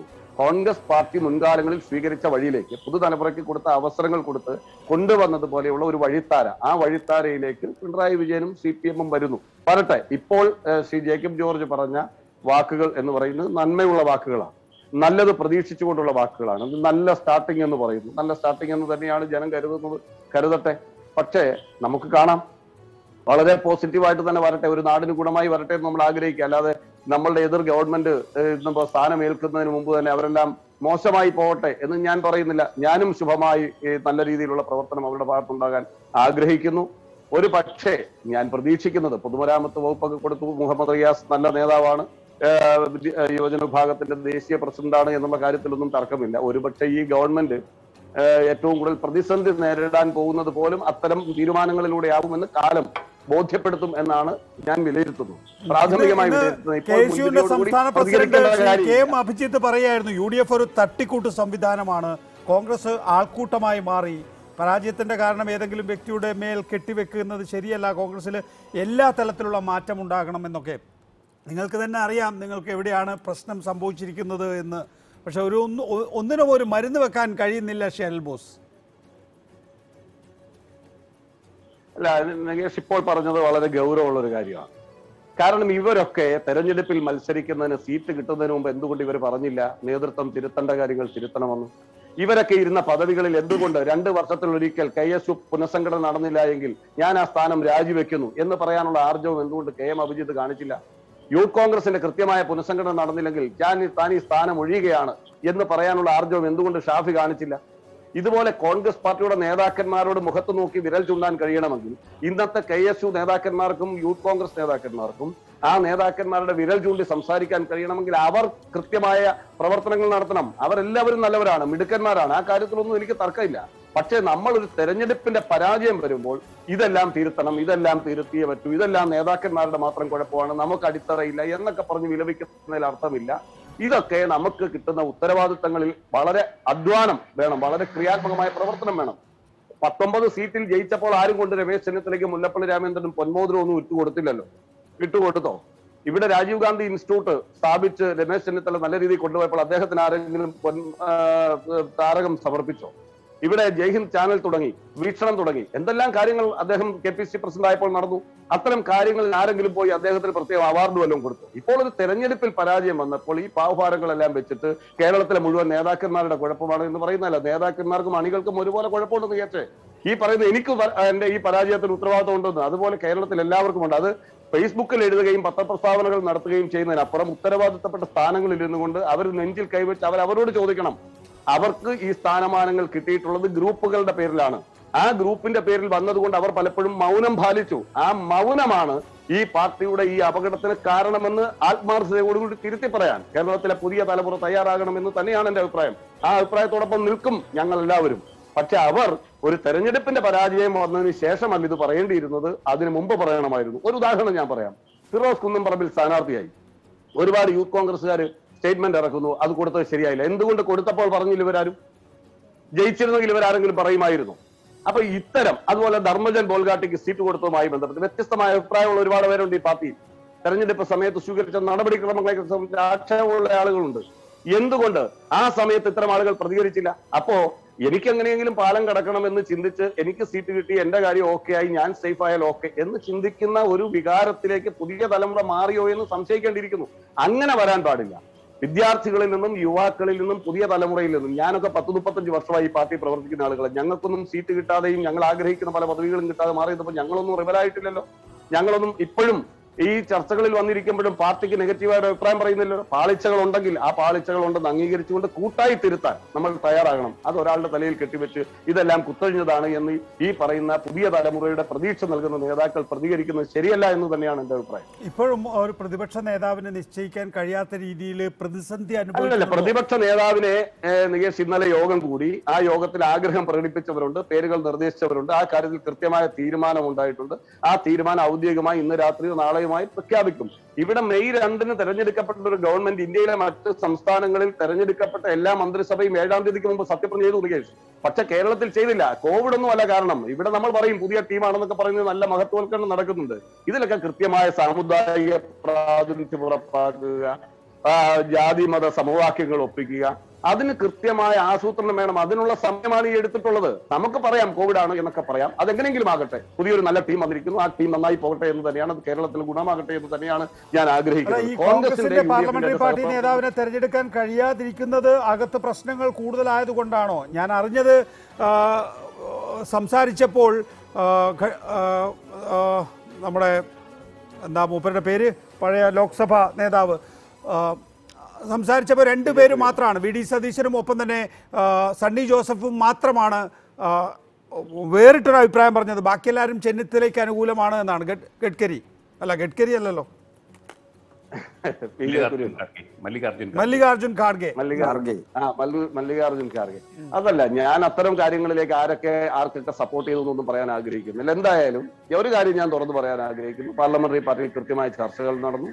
പല ആംഗിളിൽ നിന്നുള്ള ചർച്ചകൾ നടന്നു. ഒരു പേരല്ല രണ്ടു പേരുമല്ല. മൂന്ന് നാല് പേരുകൾ ആ ചർച്ചയിൽ ഉയർന്നു വന്നിട്ടുണ്ട്.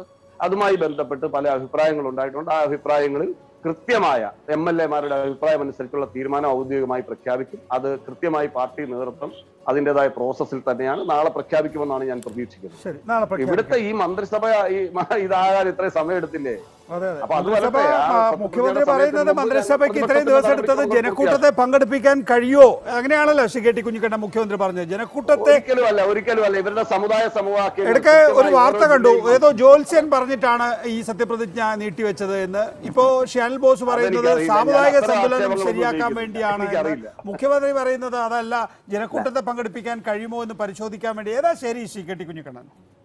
ജോത്സ്യനാണോ അനിൽ ബോസ് അനിൽ ബോസ് എല്ലാ കാര്യങ്ങളും എടുക്കുന്ന ഒരു നിലപാട് അതാണല്ലോ. ഇപ്പൊ ഈ മന്ത്രിസഭയിൽ യുവാക്കൾ വരുന്നു പുതിയ ടീം വരുന്നു. അദ്ദേഹം പറയുന്നത് അത് കരുണാകരന്റെ കാലത്തൊക്കെ സംഭവിച്ചതാണ്. അതിന്റെ ഒരു ആവർത്തനം ഞാനല്ല ഞാൻ അതിന്റെ അതൊരു ഒരു ചരിത്രത്തിലെ ഒരു വസ്തുതയല്ല എന്റെ പ്രശ്നം. എന്റെ പ്രശ്നം എന്താണ്? നിങ്ങൾ പറയുന്നത് ഇത് മുമ്പ് യു ഡി എഫ് ചെയ്ത കാര്യങ്ങൾ മാത്രമാണ് പുതിയ ആളുകളെ കൊണ്ടുവന്നിട്ടുണ്ട് പ്രായം കുറഞ്ഞവരെ കൊണ്ടുവന്നിട്ടുണ്ട് പുതിയ ടീമിനെ കൊണ്ടുവന്നിട്ടുണ്ട്. ഞാൻ അങ്ങനെ കാണുന്നില്ല. അതായത് യു ഡി എഫിന്റെ കാലത്തുണ്ട് കാലത്ത് ജയലക്ഷ്മി വന്നിട്ടുണ്ട് വളരെ ചെറുപ്പക്കാരനായിട്ടുള്ള രമേശ് ചെന്നിത്തല മന്ത്രിയായിട്ടുണ്ട് അതൊക്കെ ശരിയാണ്. പക്ഷെ അതിൽ വ്യത്യസ്തമായ അതിൽ നിന്ന് വ്യത്യസ്ത അതിൽ നിന്ന് വ്യത്യസ്തമായ ഒരു കാഴ്ചപ്പാടോട് കൂടിയാണ് കാഴ്ചപ്പാടാണ് ഇവിടെ ജേക്കബ് ജോർജ് അന്വേഷണമാണ് പ്രശ്നം. അതിൽ നിന്ന് വ്യത്യസ്തമായ ഒരു വിഷനോട് കൂടിയാണ്. എത്ര മനോഹരമായിട്ടാണ് എത്ര സൗന്ദര്യാത്മകമായിട്ടാണ് അദ്ദേഹം അതിവിടെ അവതരിപ്പിച്ചത്. സെക്കൻഡ്. സൗഹൃദം കൊണ്ടാണ്. ഒറ്റ second. U D L D എഫിന്റെ മന്ത്രിസഭ തീരുമാനം ആരൊക്കെ ആരൊക്കെയാകണം മന്ത്രി വകുപ്പ് ഏതൊക്കെയാണോ എന്ന് തീരുമാനിക്കാൻ നീണ്ടുപോയാൽ അത് ആ താത്വികമായ ചർച്ച. പ്രതിപക്ഷ നേതാവിനെ തീരുമാനിക്കാനോ കോൺഗ്രസിന്റെ ഗവൺമെന്റ് ആണെ മന്ത്രിമാരെ തീരുമാനിക്കാനോ പോയാൽ അത് ഗ്രൂപ്പ് പടം മതി ഇതൊക്കെ നമുക്ക് എല്ലാവർക്കും അന്യോന്യം അറിയരുതോ? നമ്മൾ പരസ്പരം അനിൽ ബോസ് അല്ല അനിൽ ബോസ് അനിൽ ബോസ് ഇവിടെ പറ അനിൽ ബോസ് ഈ ചർച്ചയിൽ എന്താണ്? അതിശക്തമായ ഒരു ഗ്രൂപ്പ് വാദം ഉയർത്തുകയാണ് ചെയ്ത്. പാവ അഭിജിത്തിനെതിരായിട്ട്. അവൻ പരാജയപ്പെട്ടു. അനിൽ ബോസ്-. അനിൽ ബോസെ അല്ല അനിൽ ബോസെ ആ എം കെ രാഘവൻ അഭിജിത്തിനെ പറ്റിച്ചതാണ് അദ്ദേഹം എന്താണ് വലിയ രീതിയിൽ വോട്ട് വാങ്ങിച്ച് അവിടെ എന്താണ് ജയിപ്പിക്കും ഞാൻ ജയിപ്പിക്കും എ സി സിക്ക് എം കെ രാഘവൻ കൊടുത്ത ഉറപ്പാണ് എന്ത് അഭിജിത്തിനെ സ്ഥാനാർത്ഥിയാക്കണം. അദ്ദേഹത്തിന് സ്ഥാനാർത്ഥിത്വം തന്നു കഴിഞ്ഞാൽ അദ്ദേഹത്തെ ഞാൻ വിജയിപ്പിച്ചോളൂ. എനിക്കറിയാമല്ലോ കോഴിക്കോട് നോർത്തിൽ എത്ര ആളുകളാണ് മോഹിച്ചത്. ആ മോഹിച്ച ആളുകളെയൊക്കെ തട്ടിമാറ്റി എം കെ രാഘവന്റെ ഒറ്റ വാക്കിന്റെ മോളാണ്. പക്ഷേ എം കെ എം കെ രാഘവന്റെ സ്ട്രാറ്റജി വോട്ട് പർച്ചേസ് ചെയ്യുന്നത് ഉൾപ്പെടെയുള്ള എല്ലാ കാര്യങ്ങളും അവിടെ ദയനീയമായി പൊളിഞ്ഞു പോയി പ്രത്യേകിച്ച് തോട്ടത്തിൽ രവീന്ദ്രനെ പോലെ ഒരു സ്ഥാനാർത്ഥി വന്നപ്പോൾ. എം കെ രാവിന്റെ പ്ലാനുകളെല്ലാം അവിടെ പൊളിഞ്ഞുപോയി. അതിന്റെ ഫലമായിട്ട് എന്താണ്? പിടിച്ചു നിൽക്കാൻ പോലും പറ്റാത്ത രീതിയിൽ ദയനീയമായ രീതിയിൽ അഭിജിത്ത് പരാജയപ്പെട്ടു. ആ പരാജയബോധത്തുനിന്ന് ഒരു യുവാവായ അദ്ദേഹം വലിയ അസംതൃപ്തിയുണ്ട്. അദ്ദേഹം കലാപ വാക്കുകൾ ഉദ്ധരിക്കുന്നുണ്ട്. ആ കലാപ വാക്കുകൾക്ക് വളരെ പക്വതയോടുകൂടി ചർച്ചകളിൽ പങ്കെടുക്കുന്ന അനിൽ ബോസ് നൽകിയ മറുപടി എന്താണ്?